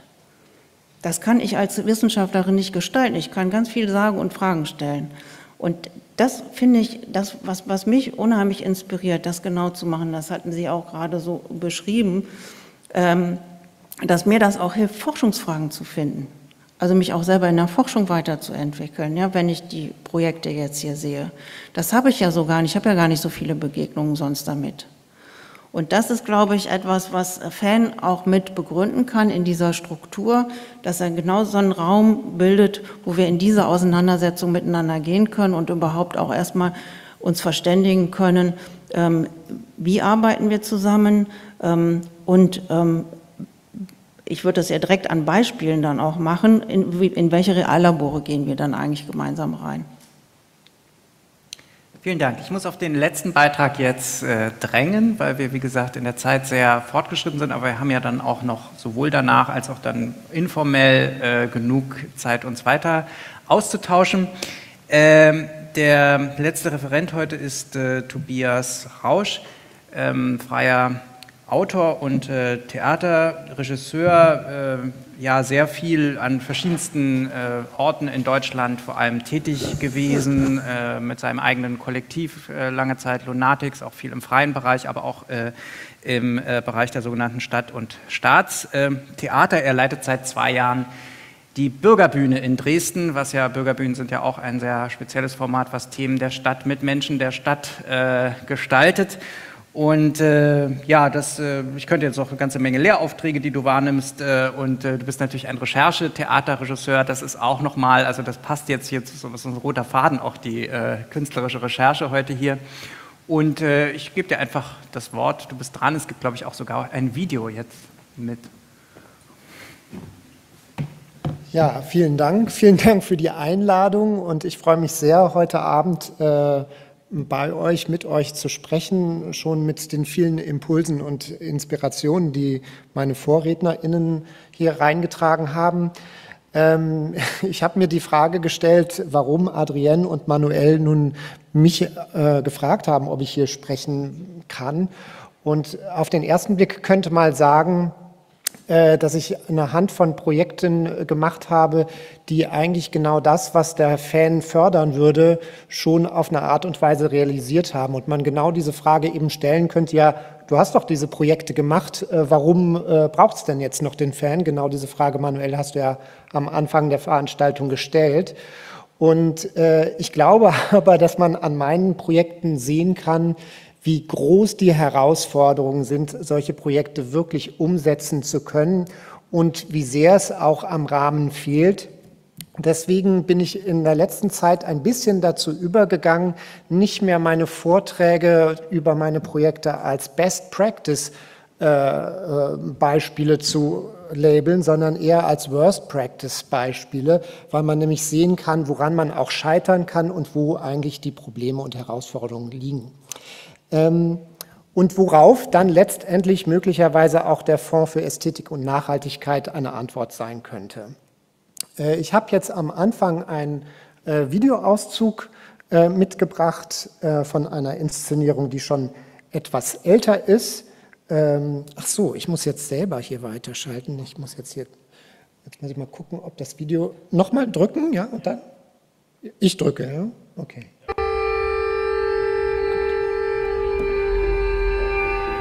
Das Wasser hat ein älteres Gedächtnis als wir. Als ob es sich erinnern könnte, sucht es immer wieder sein altes Bett. Wir dagegen vergessen. Das ist unser Talent. Als ob es eine Absaugpumpe gäbe in unserem Gedächtnis, mit der die Feuchtigkeit aus dem Gemäuer gezogen wird, bevor Schimmel unter den Tapeten entsteht. Wir bauen mehr Zonendeiche wie einen metaphysischen Gartenzaun, der das Land in unseres verwandelt. Gefurcht, gepflügt und mit strichgeraden Drainagen versehen, Triumph von Winkel und Geometrie. Der Mensch als expansives Wesen mit struktureller Demenz. Wir leben in gefährdetem Gebiet. Nur an der dreckigen, verwaschenen Linie können wir erkennen, wie hoch das Wasser einmal stand. Also, Erzählen wir die Geschichte als eine Form des Vergessens? In diesem kurzen Zwischenraum bis das Wasser hierher zurückkehrt.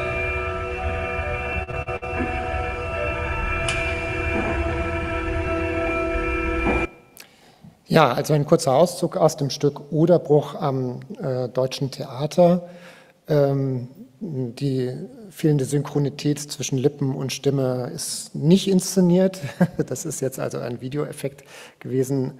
Ähm, und äh, ja, es war eine Inszenierung, die sich mit, dem Oder, mit der Oderflut 1997 beschäftigt hat, auf der Basis von vielen Interviews mit Menschen, die in dieser Flut irgendwie eine Rolle gespielt haben. Viele Geschichten, die sozusagen auch unerzählte Geschichten bis zu dem Zeitpunkt waren. Und äh, wir haben im Laufe der Produktion unglaublich viele Geschichten von Menschen gefunden und dann auch auf die Bühne gebracht. Und das war sehr dankbares Schauspielmaterial, äh, dramatische, traurige, aber auch sehr lustige Geschichten. Und irgendwann im Laufe der Inszenierung, eigentlich zu einem Zeitpunkt, als es schon zu spät war, haben wir festgestellt, wir erzählen die ganze Zeit Geschichten von Menschen, von Menschen, aber der Fluss der taucht eigentlich gar nicht auf. Also wir haben den irgendwie vergessen in dieser Inszenierungsarbeit.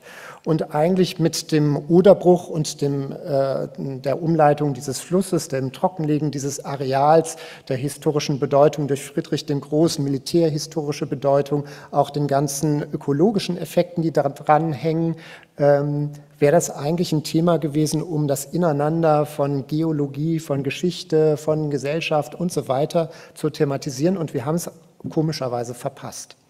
Und äh, vielleicht ist das ein individuelles Versagen eines Theaterprojektes, aber die Frage, die wir uns gestellt haben, ist das möglicherweise doch auch ein Zeichen dafür, äh, dass es im Theater ähm, eine gewisse Sensibilität gef gefehlt hat.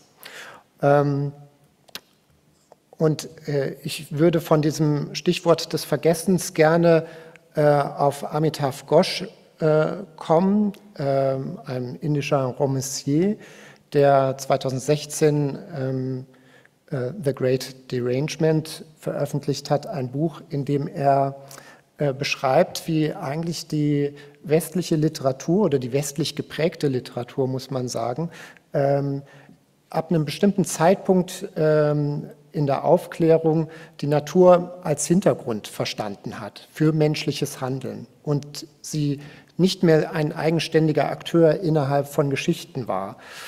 Äh, Im Zentrum von Literatur, im Zentrum der Geschichten, die wir erzählen und die wir auch hören wollen, stehen Menschen und ihre Konflikte und, äh, und entsprechend können auch nur sie die Akteure sein. Die Natur wird dagegen zu einer Art Kulisse, vor deren Hintergrund das stattfindet und sie wird maximal noch zur Ressource.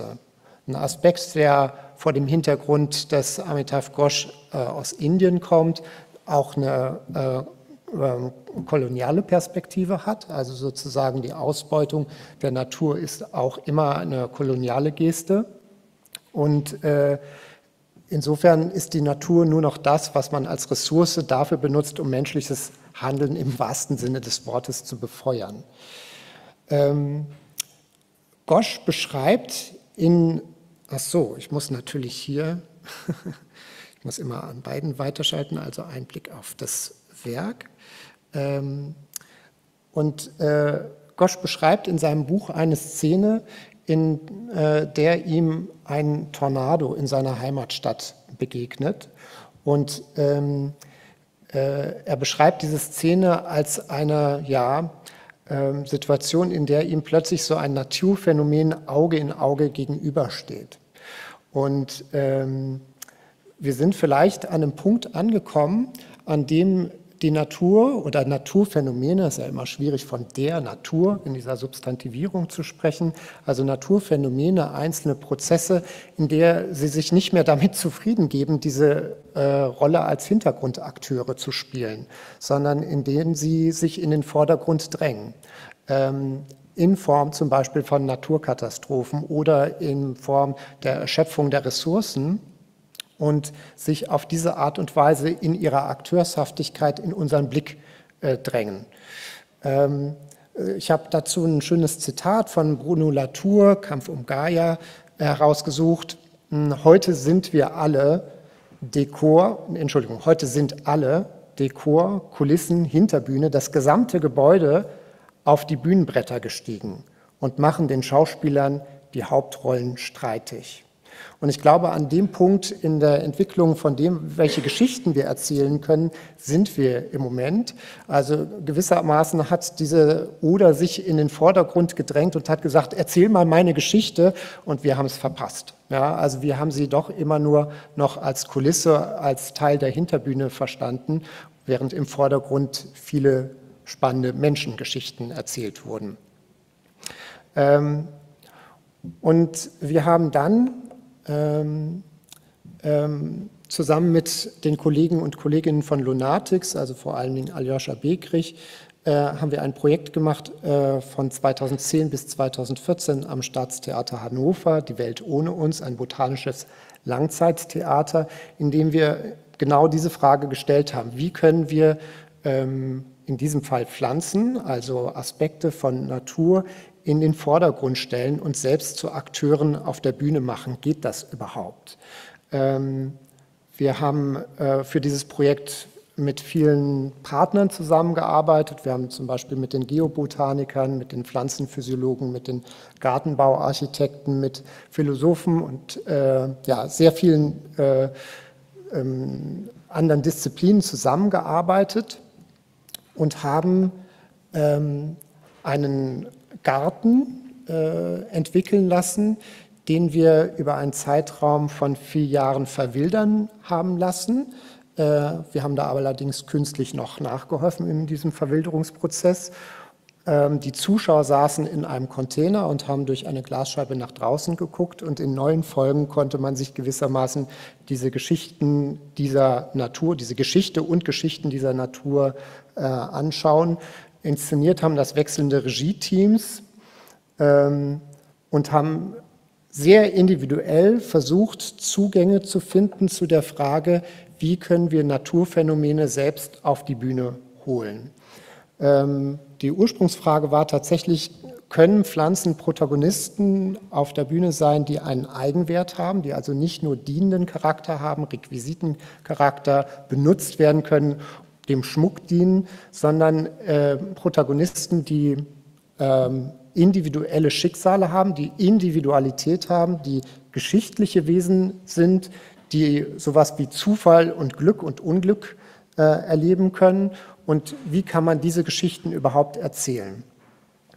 Wir haben gleich in einer der ersten Versuche festgestellt, äh, dass es doch möglich ist, unglaublich stark eine affektive Beziehung zwischen Mensch und Pflanzen herzustellen. Wir haben nämlich in einem Art Tryout äh, haben wir ähm, einen ganzen Abend mit einer Basilikumpflanze äh, gespielt, haben da Experimente mitgemacht, haben zwischendrin mit einer Philosophin Angela Kallhoff über die Frage diskutiert der Pflanzenethik und äh, ganz zum Schluss des Abends haben wir diese Basilikumpflanze in eine Mikrowelle gestellt, äh, haben das gefilmt und projiziert. Dazu haben wir Brahms Requiem angestellt und haben auf den Knopf gedrückt.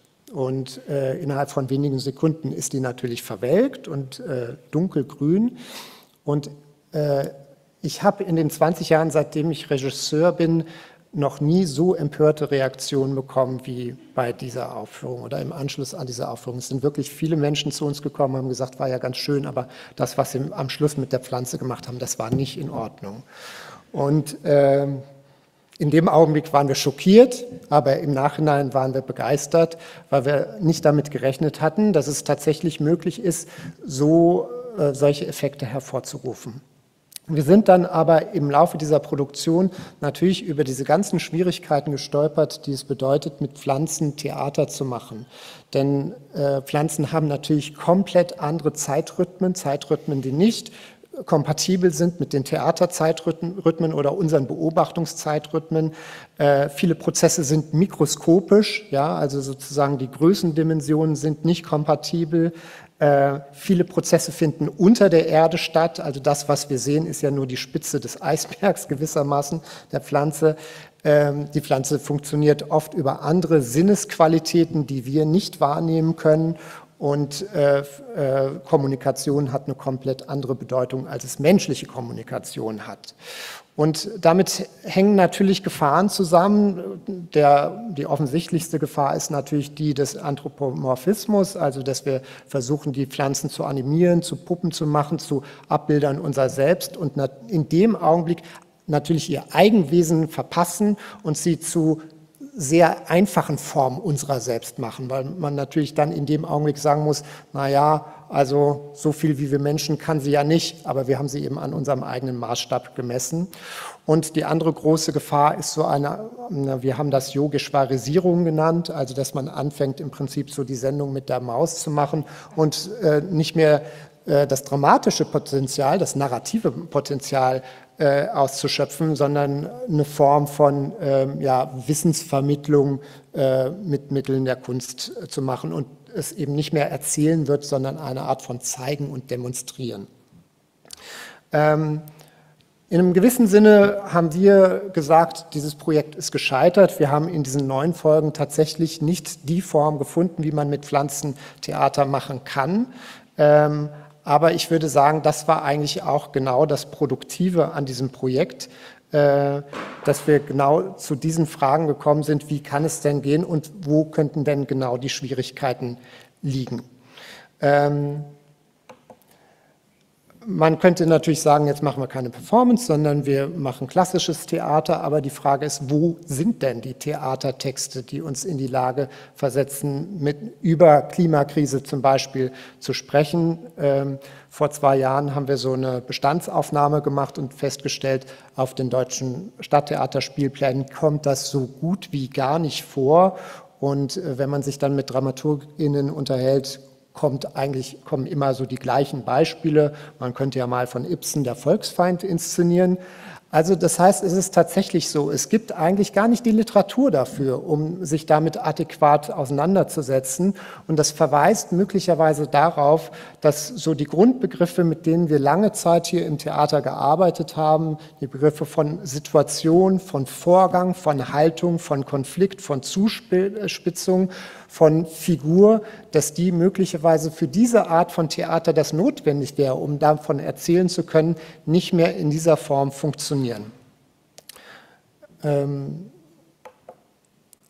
wir haben ähm, eine Tagung, Manuel war einer der Mitausrichter, zusammen mit dem IASS und Nachtkritik zusammen in der Heinrich-Böll-Stiftung gemacht, äh, Klima trifft Theater, in denen wir mit anderen TheatermacherInnen und ähm, WissenschaftlerInnen und Ak AkteurInnen aus, ähm, äh, aus, dem, auf, aus der Aktivismusszene Klimaschutz ähm, diskutieren wollten, wie kann denn Theater funktionieren, die, das sich mit diesen Themen auseinandersetzt.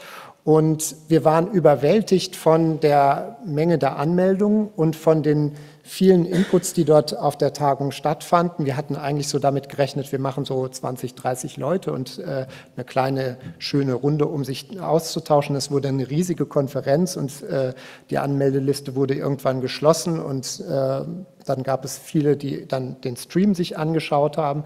Und das geht jetzt gar nicht darum, ob das eine erfolgreiche Veranstaltung war oder nicht, sondern es geht darum, dass es gezeigt hat, dass das Bedürfnis, sich mit dieser Fragestellung auseinanderzusetzen, riesig ist und dass es unglaublich viele Suchen momentan gibt und viele Experimente und ähm, ähm, nach Lösungen gesucht wird, wie man eben tatsächlich dieses Problem, wie gehe ich mit der Natur auf der Bühne um, knacken kann.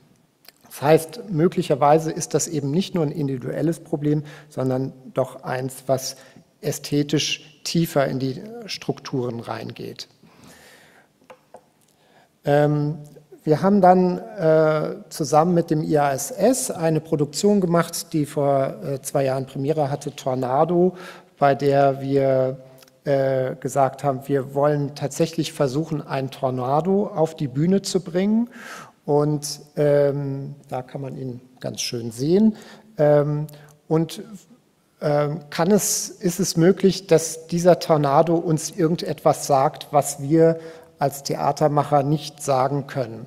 Das Interessante der Produktion war, dass wir die Wissenschaft nicht nur als Inputgeber verstanden haben, sondern dass sie in Form von manuell integraler Bestandteil der Inszenierung war. Also es fand während der, unserer, unseres Probenprozesses eine Begleitforschung statt durch das IASS und wir haben äh, anschließend während der Aufführungen Untersuchungen gemacht, äh, Erhebungen gemacht, wie das Publikum darauf reagiert. Äh, und das, was da herausgekommen ist, hat natürlich wieder Einfluss darauf, wie wir dieses Projekt denken und wie man es eigentlich weiterentwickeln müsste. Ähm, und aber auch das war nur möglich, weil wir äh, letztendlich nicht nur eine Förderung für die Kunst hatten, sondern weil das ISS gesagt hat, wir machen uns das zu einem eigenen Projekt und stecken da auch eigenes Geld mit rein. Sonst wäre das für uns überhaupt nicht finanzierbar gewesen. Und ich möchte ein Zitat aus diesem Stück, das äh, aus einem Interview mit einer Wissenschaftlerin, mit einer Meeresgeologin stammt, hier äh, erwähnen. Äh, sie sagte nämlich in dem Interview, wir haben eine Krise der Imagination. Ähm, diese Meeresgeologin ähm, verfolgt gewissermaßen den Klimawandel seit 20 Jahren live im Nordpolarmeer mit eigenen äh, Augen. Und was nach ihren Worten das Problem ist, ist, dass wir unser jetziges Handeln natürlich Effekte hat, die in tausenden Kilometern Entfernung Wirkung haben können, die möglicherweise Jahrhunderte entfernt sind vom Hier und Jetzt und wir im Prinzip mit unserem Situationsbegriff zu sagen, das versuchen wir in einer Situation auf der Bühne darzustellen, nicht mehr begreifen können. Wir können es uns aber auch gar nicht vorstellen, welche Effekte das hat. Also wir haben kein wirkliches Bild davon. Wir haben es mit komplexen Korrelationen, mit nichtlinearen Prozessen zu tun. Wir haben es mit statistischen Phänomenen zu tun. Es sind hochabstrakte Vorgänge, die nur über wissenschaftliche Vermittlungen verstehbar sind Und äh, das hat zum Effekt, dass wir nicht in der Lage sind, uns ein Bild davon zu machen, was das eigentlich bedeutet. Und Imagination wäre ja jetzt etwa eine Aufgabe des Theaters. Also es geht im Prinzip um die Frage, können wir uns eigentlich die Krise, in der wir derzeit stecken, haben wir überhaupt ein Bild davon? Können wir sie uns überhaupt eigentlich vorstellen? Und ich glaube, nein. Ähm, haben wir eine Vorstellung davon, wie eigentlich die Zeit aussehen wird nach unserem Zeitalter, also eines Post-Carbon-Zeitalters? Welche Gesellschaft wollen wir denn überhaupt? Und haben wir eine Vorstellung dafür, wie wir ein anderes Verhältnis zur Natur kriegen könnten? Ähm, und was dazu, glaube ich, notwendig ist, und ähm, das deutet jetzt schon Richtung Schluss hin, äh, dass wir eine Imagination, eine Vorstellung davon brauchen, wie überhaupt eine Kultur der Nachhaltigkeit aussehen kann und wie äh, ein anderes Theater und ein anderer Kulturbetrieb funktionieren kann. Äh, ich arbeite am Staatsschauspiel Dresden und dort haben wir derzeit einen sehr intensiven Nachhaltigkeitsprozess angefangen. Es gibt eine Nachhaltigkeits AG, es gibt eine Steuerungsgruppe Nachhaltigkeit, wir haben eine Beraterin ans Haus geholt, wir haben den CO2-Bilanzierungsprozess der Kulturstiftung mitgemacht und aber tatsächlich ist es eben so, äh, dass das im Haus viele Ängste erzeugt. Und wir, als wir jetzt den ersten Workshop ausgewertet haben, kam die Rückfrage, ja, aber was heißt denn das? Heißt das, dass wir in Zukunft weniger oder gar kein Theater mehr machen können oder sollen? Und ich bin davon überzeugt, dass wir wenn wir nicht aus dem Kulturbetrieb selbst heraus uns damit beschäftigen, wie ein nachhaltiges Theater aussehen kann, und zwar auch künstlerisch gestaltet aussehen kann, dass irgendwann dann die Restriktionen folgen werden und wir dann eben nicht mehr selbstgewählt nachhaltig äh, agieren können. Und es deswegen, glaube ich, die Aufgabe der Kunst ist, dafür Modelle zu entwickeln. Also ich glaube, wir brauchen nicht nur eine technische und ökonomische, sondern genauso dringend eine kulturelle und mentale Transformation. Und ich glaube, dass das die Künstler am besten können. Ich mache jetzt mal ein bisschen weiter. Und ähm, es ist hier, glaube ich, schon. Bitte? Ja, ich mache den letzten Satz, genau. Ich glaube, das, was es eben dafür braucht, und das sieht man an den Projekten, die ich selbst gemacht habe, weil äh, genau das war unser Problem. Es braucht Förderinstrumente, die äh, hybride Formate fördern. Für die Welt ohne uns haben wir Anträge gestellt und keins genehmigt bekommen, weil es eben nicht in die Förderkategorien reinfiel. Es ist immer, ist es nun Wissenschaft, ist es jetzt Umwelt, ist es Kunst und das ist irgendwie keins von allen. Ähm, es braucht eine prozessorientierte Förderung, was ja auch schon erwähnt wurde, wo auch das Scheitern möglich ist und wo die Entwicklung gefördert wird und nicht einfach nur, dass äh, zum Schluss ein Produkt rauskommt. Ähm, und ich glaube, so ein Förderinstrument muss eben Kompetenzen aus Wissenschaft, Kunst und gesellschaftlicher Transformation, also Zivilgesellschaft, äh, äh, enthalten und es muss ressortübergreifend sein. Es kann nicht sein, dass das dann nur die Gelder der Kunst sind, aus denen dann sozusagen die Wissenschaft auch mitbezahlt wird, sondern ich glaube, es müssen sozusagen auch auf der Ebene der Finanzierung unterschiedliche Töpfe zusammenkommen, die das dann speisen. So, vielen Dank und äh, danke, dass Sie da sind. Vielen Dank. Vielen Dank, äh, Tobias. Ähm, ich äh, binde jetzt einfach hier diese, den formellen Teil der Diskussion ab und verweise die weitere Diskussion in den informellen Raum, der uns hier noch bis halb neun offen steht, bei äh, Getränken und äh, äh, leiblicher Stärkung in Form von irgendwelchen Häppchen. Und ähm, bedanke mich aber nochmal ganz herzlich bei dir, Tobias, weil ich fand, dass hier nochmal ein Aspekt äh, des künstlerischen Forschens äh, deutlich wurde, der natürlich tatsächlich in die, also in eine ganz systematische Weise in die Ästhetik im engeren Sinne selber reingeht. Äh, und äh, der Punkt sozusagen, die Krise der Imagination zu überwinden, natürlich, der ist wegen dem mich auch die Äußerung dieser Chefin einer großen deutschen Kultureinrichtung so empört hat, die gesagt hat, es ist jetzt mal genug mit den Bildern, es braucht jetzt Regeln zum CO2-Sparen. Ähm, also das äh, ist ein ganz wichtiger Schlusspunkt gewesen. Ich äh, verabschiede Herrn Lind, äh, Mitglied des Deutschen Bundestages. Wir schauen voller Erwartung auf, was da kommt politisch in der nächsten Zeit und hoffen, dass wir also mit der Workshop-Reihe, die wir dem Wuppertal-Institut jetzt durchführen werden, um die offenen Fragen, die Finessen sozusagen so eines Fan, auch der Governance, der Förderkriterien und so weiter, äh, weiter zu äh, beantworten, dass wir das dann auch schon vis-à-vis -vis einer politischen Beschlusslage tun, die dieses Instrument in greifbare Nähe rückt. Adrienne hat auf ein äh, Schlusswort an dieser Stelle verzichtet, äh, obwohl es eigentlich irgendwie von der, bist ja die Mutter von Cianze sozusagen, aber äh, das ist, wenn du das nicht möchtest, dann schließe ich hiermit, ich verabschiede, ja, ja.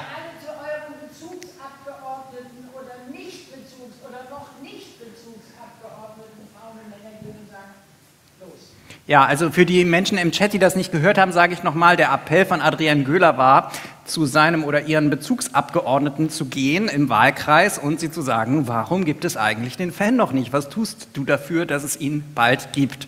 So, äh, ich wünsche einen ganz schönen Abend hier an dieser Stelle. Ich bedanke mich, bin sehr froh, dass wir die äh, Veranstaltung aufgezeichnet haben, weil äh, die Impulse so reich und komplex werden. Ich sehe hier die Menschen von der Klasse Klima von der UDK, äh, die da äh, das auch bestätigen. Also da, dass da so viel drin gesteckt hat, dass man beim Nachschauen äh, dieser, dieser Vorträge und auch der Diskussionsbeiträge sicherlich noch mal viel ernten wird. Vielen, vielen Dank und jetzt gibt es draußen ein bisschen Verköstigung und den Menschen, die von ferne zugeschaut haben, auch vielen Dank fürs Dabeibleiben.